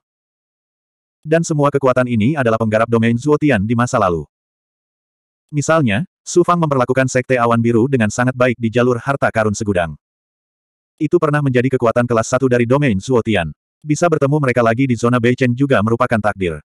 Harus diketahui bahwa ketika Su Fang pergi ke Sekte Awan Biru untuk bertukar pikiran, dia memiliki kesan yang baik terhadap Sekte Awan Biru. Terutama si jenius dari Sekte Awan Biru, Li Qianlong. Orang ini telah mencapai alam transformasi bersayap tingkat sangat tinggi dan hendak menerobos ke alam surgawi terbang. Su Fang mengobrol dengannya sendirian untuk waktu yang lama dan menemukan bahwa Sekte Awan Biru juga diserang oleh para ahli yang dikirim oleh dewa setelah dewa yang tak terhitung jumlahnya membunuh mereka dalam perjalanan ke domain Suotian. Untungnya, fondasi Sekte Awan Biru sangat menakjubkan, dan mereka juga memiliki artefak Dao dan ahlinya. Pada akhirnya, kerugiannya tidak besar, dan mereka membawa sebagian besar murid mereka ke zona Beichen sebelum penghalang dunia domain Suotian hancur. Selain Sekte Awan Biru, Su Fang hanya bertemu pasukan lain satu kali dan membiarkan mereka pergi. Namun, dia menjaga kekuatan domain Suotian. Dia mengirim para ahli di bawah komandonya ke setiap kekuatan agar mereka dapat menerima kekuatan dari domain Suotian. Sama seperti apa yang dia janjikan pada domain Wutan, dia mengizinkan semua kekuatan untuk benar-benar menjadi penguasa zona Beichen dan berkultivasi di zona Beichen selamanya. Setelah keputusan ini dikeluarkan, Su Fang benar-benar menguasai zona Beichen. Bagi para penggarap, ahli, dan kekuatan zona Beichen yang tak terhitung jumlahnya, mereka tidak peduli siapa Rilem Master itu. Satu-satunya hal yang mereka pedulikan adalah seberapa besar dampak perubahan Realm Master terhadap pasukan mereka di zona Beichen. Di dunia ini, bahkan orang bodoh pun tidak akan membiarkan kepentingannya dirugikan. Setelah Su Fang mengeluarkan dekrit tersebut, semua kekuatan merasa senang. Sejak saat itu, Su Fang menguasai zona Beichen. Semua kekuatan benar-benar dapat memiliki wilayah ini dan mengembangkannya dari generasi ke generasi. Kemudian, Xiao Chen mengirimkan seuntai surat wasiatnya, mengirimkan surat wasiat Black Ridge Monarch ke dalam inti alam bintang utara. Uling Goblin telah menggunakan terlalu banyak truki terakhir kali. Kali ini, dia tidak dapat memasuki intinya. Su Fang hanya mengizinkannya masuk jauh ke dalam inti dan menggunakan pikirannya untuk merasakan kedalaman inti. Setelah sekitar setengah tahun, Su Fang akhirnya mengizinkan Wuling Goblin kembali. Tidak ada pecahan dunia seperti bunga batu teratai emas di inti zona Beichen. Sepertinya tebakanku benar. Bukannya enam penguasa kesuburan tidak mengetahui tentang pecahan dunia. Hanya saja tidak ada dunia fragmen di inti zona kabut spiritual. Pantas saja senior misterius di cermin kuno ingin aku mendapatkan pecahan dunia dari alam hutan. Itu adalah harta karun yang langka. Su Fang mengandalkan kemampuannya sendiri untuk mendapatkan sebagian jawabannya. Dalam sekejap mata, beberapa tahun telah berlalu. Kedua dunia itu masih berada di Bima Sakti. Sejumlah besar ahli asal dari dua dunia telah bermigrasi. Su Fang dan para ahli di bawah komandonya sedang memulihkan diri, pulih, dan menjadi lebih kuat. Tidak ada yang tahu seberapa banyak esensi zona Beichen yang diserap Su Fang. Dia juga melepaskan banyak klon Wuji untuk memasuki inti planet dan menyerap kekuatan asal dunia. Dia tiba-tiba pergi untuk melepaskan penghalang dan membiarkan Kaisar Vermilion dan Yang Mulia Iblis Tong Tian melindunginya. Tidak lama setelah penghalang itu dilepaskan, penyu abadi juga muncul di dekatnya. Pada saat ini, kesengsaraan surgawi akan datang. Bahkan Bailing mengkhawatirkan keselamatan Su Fang. Dia melayang di udara untuk melindungi Su Fang. Tidak lama kemudian, awan kesengsaraan surgawi di langit berubah menjadi awan hitam. Lima kesengsaraan surgawi sedang terjadi. Setelah kesengsaraan ini, dia akan melangkah ke tingkat lima alam abadi. Penyu abadi tidak sabar untuk menembakkan ki aura menakutkan yang terkait dengan ki spiritual dan ki iblis. Matanya seperti dua permata yang berlumuran darah. Suara mendesing, suara mendesing. Kesengsaraan surgawi turun. Jubah pertahanan emas Tao yang berisi Ki Kaisar berkibar tertiup angin. Dia meraih kesengsaraan surgawi yang pertama, mengupas sebagian darinya, dan melemparkannya ke dalam mulut penyu abadi. Pada saat ini, Su Fang tiba-tiba mengeluarkan bunga batu teratai emas yang dia peroleh di inti alam hutan. Selama ini, dia telah mencoba untuk menyatu dengan bunga batu teratai emas. Namun, dia tidak bisa menggerakkannya sama sekali. Bahkan darah yang menetes pun kehilangan efeknya. Tidak mengherankan jika harta karun seperti itu bisa disembunyikan di inti planet ini. Itu karena tidak ada penggarap alam fana yang bisa menyatu dengannya. Saat ini, Su Fang membuat pilihan yang sangat mengejutkan. Ketika kesengsaraan surgawi turun, dia menggabungkan esensi darahnya dan kekuatan sembilan matahari dengan bunga batu teratai emas.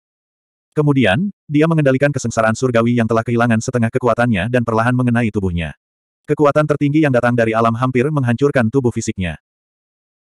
Meskipun dia kuat dan dapat mematahkan kesengsaraan surgawi dengan kekuatannya, bukan berarti tubuh fisiknya dapat menahan serangan kesengsaraan surgawi.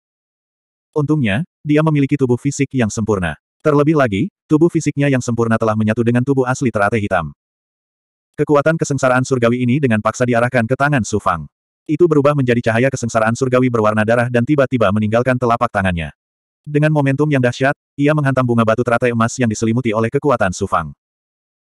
Ketika penyu abadi di dekatnya melihat pemandangan ini, ia berseru tak percaya, kau punya nyali. Aku punya tubuh hantu sepuluh ribu tahun, tubuh spiritual tertinggi. Itu sebabnya aku bisa membersihkan kesengsaraan surgawi secara langsung. Kamu sebenarnya. Namun, Su Fang sepertinya telah menyegel kesadaran dirinya. Semua indranya ada di tangannya, dan bunga batu teratai emas berwarna darah yang terkena kekuatan kesengsaraan surgawi. Dengan kultivasi saya saat ini, saya tidak memiliki kemampuan untuk memperbaikinya. Saya hanya dapat menggunakan kekuatan tertinggi kesengsaraan surgawi untuk membersihkan tubuh fisik saya terlebih dahulu. Dengan cara ini, ketika kekuatan kesengsaraan surgawi menembus tubuh saya, itu akan terjadi. Mengandung kekuatan tubuh fisikku. Ini setara dengan kekuatan kesengsaraan surgawi yang menjadi kekuatanku. Aku tidak memiliki kepercayaan diri untuk membersihkan bunga batu teratai emas dengan kekuatan seperti itu, tetapi aku harus mencobanya. Untuk berurusan dengan kekaisaran Senyuan, saya harus mencoba metode apa pun untuk memperkuat diri saya sendiri. Betapa menyakitkannya terkena kesengsaraan surgawi. Dia mengertakkan gigi dan menyeringai. Rasa sakitnya tidak terbayangkan. Pada saat ini, kekuatan kesengsaraan surgawi berwarna darah terus menghantam bunga batu teratai emas, tetapi bunga batu teratai emas tidak bereaksi sama sekali. Kekokohannya membuat Su Fang tercengang. Belum lagi bunga batu teratai emas, bahkan artefak Dao pun akan bereaksi ketika menghadapi kesengsaraan surgawi. Kesengsaraan surgawi tidak hanya kuat, tetapi juga merupakan kehendak langit dan bumi. Materi dan kehidupan apa pun akan bertahan sesuai keinginannya. Melihat tidak banyak reaksi, Su Fang hanya bisa terus menyerap kesengsaraan surgawi. Dia membiarkan kesengsaraan surgawi membersihkan tubuh fisiknya terlebih dahulu, dan kemudian meneruskannya melalui tubuh fisiknya ke bunga batu teratai emas. Tidak lama kemudian, kesengsaraan surgawi pertama lenyap, dan kesengsaraan surgawi kedua terus turun. Su Fang masih menggunakan cara yang sama. Dia pertama-tama memisahkan sebagian dari kesengsaraan surgawi ke kura-kura abadi, dan kemudian menggunakannya untuk membersihkan bunga batu teratai emas. Kali ini, kesengsaraan surgawi ketiga, keempat, dan kelima tidak banyak mengubah bunga batu teratai emas. Itu masih kokoh dan tidak bisa dipecahkan. Itu adalah bahan yang paling kuat di dunia. Su Fang merasa bahwa pada saat ini, dia secara bertahap memahami sedikit tentang fragmen dunia. Kesengsaraan surgawi kelima akhirnya berlalu, namun bunga batu teratai emas masih tidak berubah. Itu masih misterius seperti sebelumnya. 820. Setelah kesengsaraan surgawi berakhir, tubuh fisik menyambut dampak kenaikan level. Dari telapak kaki hingga puncak kepalanya, dampaknya seperti sepuluh ribu kuda yang berlari kencang melintasi tubuh fisiknya. Tetapi, Su Fang tidak memikirkan terobosan apa pun. Melangkah dari alam abadi tingkat 4 ke alam abadi tingkat 5, suasana hatinya biasanya baik.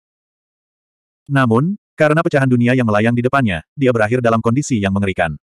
Su Fang sangat menderita karena menggunakan kesengsaraan surgawi untuk membersihkan sumsumnya dan memurnikan bunga batu teratai emas. Dia telah mencapai prestasi yang menantang surga, tapi sayangnya, dia masih gagal bergabung dengan bunga batu teratai emas. Fragmen dunia. Eksistensi macam apa itu? Meskipun Su Fang tidak dapat memperbaikinya, kekuatan dunia yang dilepaskan darinya secara bertahap memasuki tubuh Su Fang, membantunya menjadi lebih kuat sepanjang waktu. Saya tidak terlalu peduli, saya akan mempelajarinya perlahan setelah berkultivasi. Setelah disempurnakan oleh kesengsaraan surgawi, ada perubahan. Dengan hati-hati merasakan bunga batu teratai emas, setidaknya kekuatan dunia yang dikeluarkan oleh teratai emas sedikit lebih cepat dari sebelumnya. Hal ini memungkinkan Su Fang menyerap kekuatan dunia dalam jumlah yang tak terbayangkan. Setelah masa budidaya, penyu abadi kembali ke pot peri langit dan bumi kecil. Kekuatannya meningkat pesat, dan bahkan lebih menakutkan.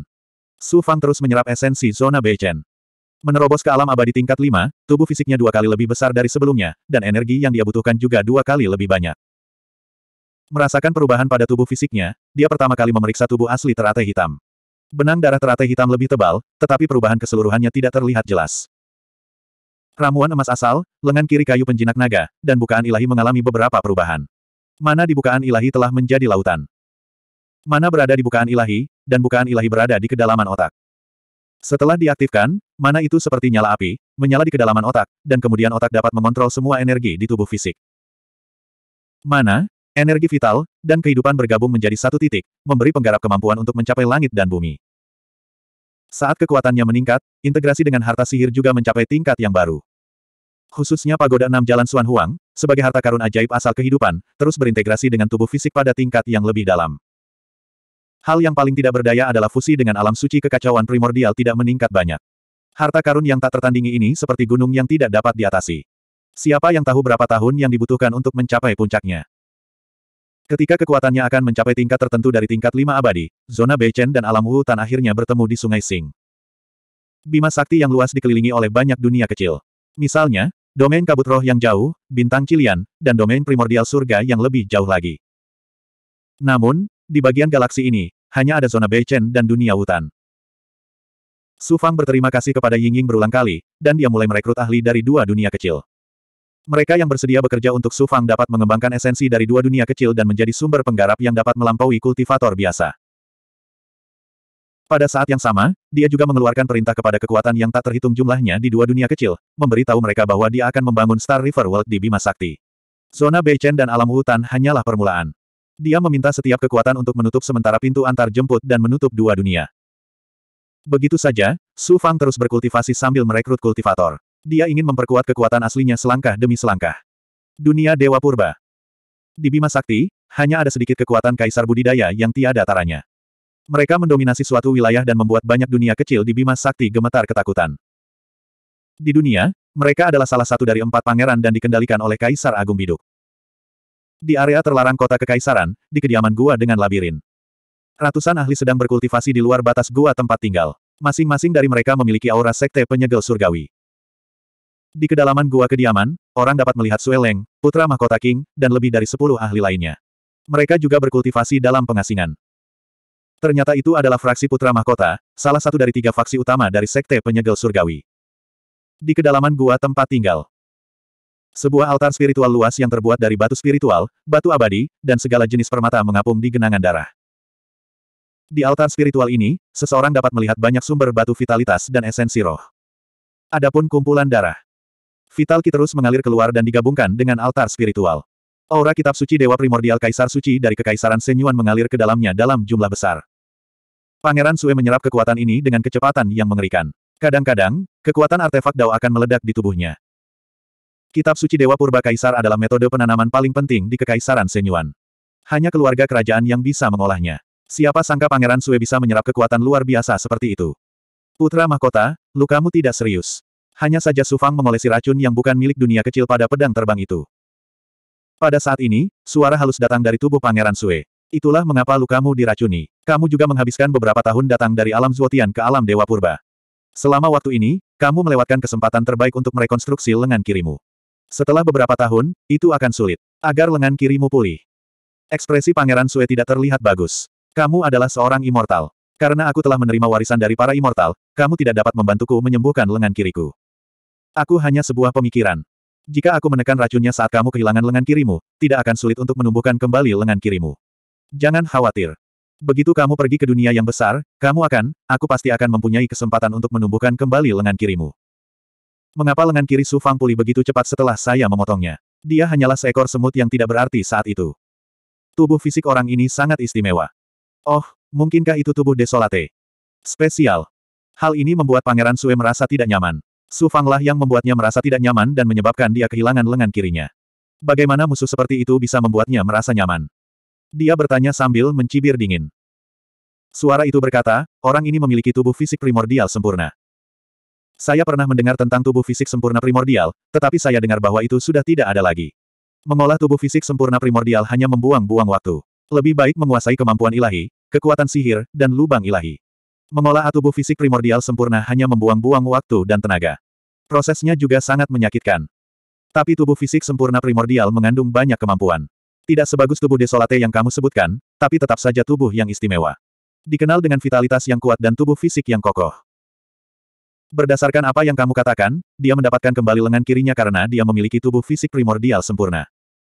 Pangeran Sue kembali menunjukkan ekspresi dinginnya. Dia terkejut. Dia tidak menyangka Su Fang memiliki latar belakang seperti itu.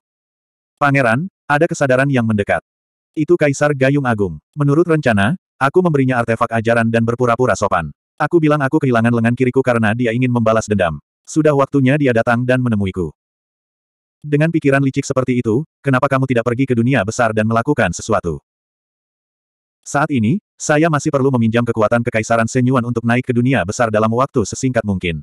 Dengan esensi pembersih sumsum dari kolam darah, saya menjadi lebih kuat. Segera, saya akan bisa melewatinya. Kesengsaraan. Setelah membentuk segel, Pangeran Sue tidak lagi mencibir. Dia tidak lagi sombong. Ia menjadi seperti seorang kultivator biasa, pucat dan lemah. Wus, wus gelombang. Tiba-tiba, sebuah koridor tertutup muncul di luar gua. Ada lusinan master di koridor. Masing-masing dari mereka memiliki ki seorang kaisar. Koridor di bawah kaki mereka dilapisi emas dan batu. Di antara mereka, Kaisar Gayung Agung adalah pemimpinnya. Kaisar Biduk Agung masih tampak seperti berusia dua puluhan. Dia telah sedikit berubah sejak usianya ketika dia dilahirkan kembali. Tapi matanya masih tajam seperti biasanya. Pangeran Sue memerintahkan seluruh anggota partai pangeran untuk mengikutinya untuk menyambut Kaisar Agung Biduk. Salam, Yang Mulia. Tidak perlu bersikap sopan. Kamu kehilangan lengan kirimu untuk menangkap Sufang. Kamu harus berkultivasi dengan baik. Jika kamu butuh sesuatu, beritahu aku. Kaisar Biduk Agung tidak masuk lebih jauh ke dalam gua. Dia melayang di depan Pangeran Sue dan membantunya berdiri. Raja ini sedang mempersiapkan formasi pembersihan sumsum -sum untukmu. Ini akan membantumu mencapai alam peri dengan tiga bencana. Kamu akan bisa naik ke keabadian dalam waktu kurang dari 500 tahun. Terima kasih, Yang Mulia. Setelah saya pulih, saya akan mengikuti Anda untuk menangani Sekte Lima Racun. Kami akan menemukan Su Fang dan memotongnya menjadi beberapa bagian. Sekte lima racun hanya ada dalam nama. Di bawah pengepungan makhluk abadi dan penguasa kekaisaran kita, tak satu pun dari puluhan ribu pemuja yang masih hidup. Penguasa lima racun pasti setengah mati. Raja ini adalah sangat senang bahwa kamu memiliki hati yang seperti itu. Sembuhlah dengan cepat dan pergilah bersama raja ini untuk merebut kembali dunia Ren Huang. Kami telah menemukan jejak-jejak dunia Ren Huang. Selama aku masih punya satu nafas lagi, aku akan bergegas ke depan. Bagus, bagus. Raja ini juga melaporkan kepada kaisar tentang masalahmu. Dia membawa sebuah dekrit untuk menganugerahkanmu gelar putra mahkota. Kamu akan diberi gelar heretik. Mulai saat ini, kamu akan menjadi putra mahkota heretik dari Senyuan Empire. Anda akan menjadi tinggi dan perkasa, sama seperti putra mahkota keluarga kekaisaran. Putra mahkota yang sesat. Pangeran Sue tampak bersemangat dan buru-buru membungkuk. Namun, dia sangat tidak senang. Putra mahkota yang sesat. Putra mahkota. Bukankah ini akan membuat semua orang di dunia menertawakannya karena tidak memiliki lengan kiri? Mulai hari ini, putra mahkota sesat adalah raja tertinggi kekaisaran kita. Dia akan menemaniku. Sampaikan perintahku. Di seluruh kediaman Raja Utara, melihat putra mahkota sesat seperti melihat raja ini. Iya. Kaisar Biduk Agung langsung mengeluarkan dekrit lain. Dia secara pribadi memimpin Pangeran Sue ke koridor batu emas dan perlahan meninggalkan gua. Alam hutan. Di wilayah di mana Sekte Pedang Teratai Hijau dulu berada, di penghalang tertinggi. Ini adalah istana Master Rilem Hutan Rilem. Semua orang di dunia mengetahuinya. Di bagian dalam istana, ada sebuah alun-alun yang dibentuk oleh barisan besar. Lebih dari seratus ribu orang berkumpul. Lebih dari sepuluh ribu orang adalah ahli yang dibawa oleh Sufang. Puluhan ribu orang berasal dari alam hutan dan zona Bechen. Puluhan ribu ahli alam surgawi terbang yang tersisa semuanya adalah ahli yang baru saja direkrut. Su Fang duduk di atas. Di sampingnya ada Su Fang. Su Zhenhua dan para ahli lainnya berjaga di bawah. Su Zhenhua berjalan di depan banyak orang dengan sebuah dekrit di tangannya, guru telah memerintahkan agar para ahli yang berkontribusi dalam menjatuhkan dua alam akan diberi hadiah 10 juta pil afrodisiak, serta kekuatan abadi yang dimurnikan oleh alam. Guru dan jimat rune roh abadi untuk membantu semua orang mengolah tubuh roh abadi. Markis Qin Yuan Hou, Raja Suci Guangzhou, Wuling Goblin, dan Yang Mulia Iblis Tong Tian, keempat ahli ini telah tampil sangat baik kali ini. Maha Guru Rilem telah menerima empat artefak Dao kali ini. Dia ingin memuji kontribusi keempatnya ahli. Markis Qin Yuan Hou, majulah. Rilem Master akan menghadiahimu dengan kilin Emperor Armor. Raja Suci Guangzhou akan menghadiahimu artefak Dao Pedang Ilahi Hijau. Wuling Goblin dihadiahi artefak Dao Pedang Abadi Pemusnahan Astral. Yang Mulia Iblis Tong Tian dihadiahi artefak Dao Lengan Abadi Awan Suci. Terima kasih Tuan. Setelah Su Zhenhua membacanya di depan banyak ahli, banyak ahli berlutut. Markis Qin Yuan Hou, Raja Suci Guangzhou, Wuling Goblin, dan Yang Mulia Iblis Tong Tian maju ke depan dan berteriak serempak. Pakar yang tak terhitung jumlahnya memandang Su Fang. Pada saat ini, semua orang merasa seperti disambar petir. Mereka terkejut dan tidak percaya. Artefak Dao. Su Fang sebenarnya mengeluarkan empat artefak Dao dan memberikannya secara gratis. Bagaimana mungkin ada orang bodoh di dunia ini? Su Zhenhua melanjutkan, setiap orang akan setia kepada Rilem Master di masa depan, dengan sepenuh hati dan tidak pernah mengkhianatinya. Kemudian, guru akan menganugerahkan kepada semua orang sumber daya tertinggi. Semuanya, turunlah dan manfaatkan waktu untuk berkultivasi. Segera, akan ada pertempuran berdarah yang menunggu kita. Aku, Su Fang, tidak akan membiarkan semua orang mati sia-sia. Aku akan melakukan yang terbaik untuk mencapai puncak bersama semua orang dan naik ke atas. Ke dunia luar. Su Fang akhirnya berkata dengan anggun, secara bertahap beradaptasi dengan identitas barunya sebagai Realm Master.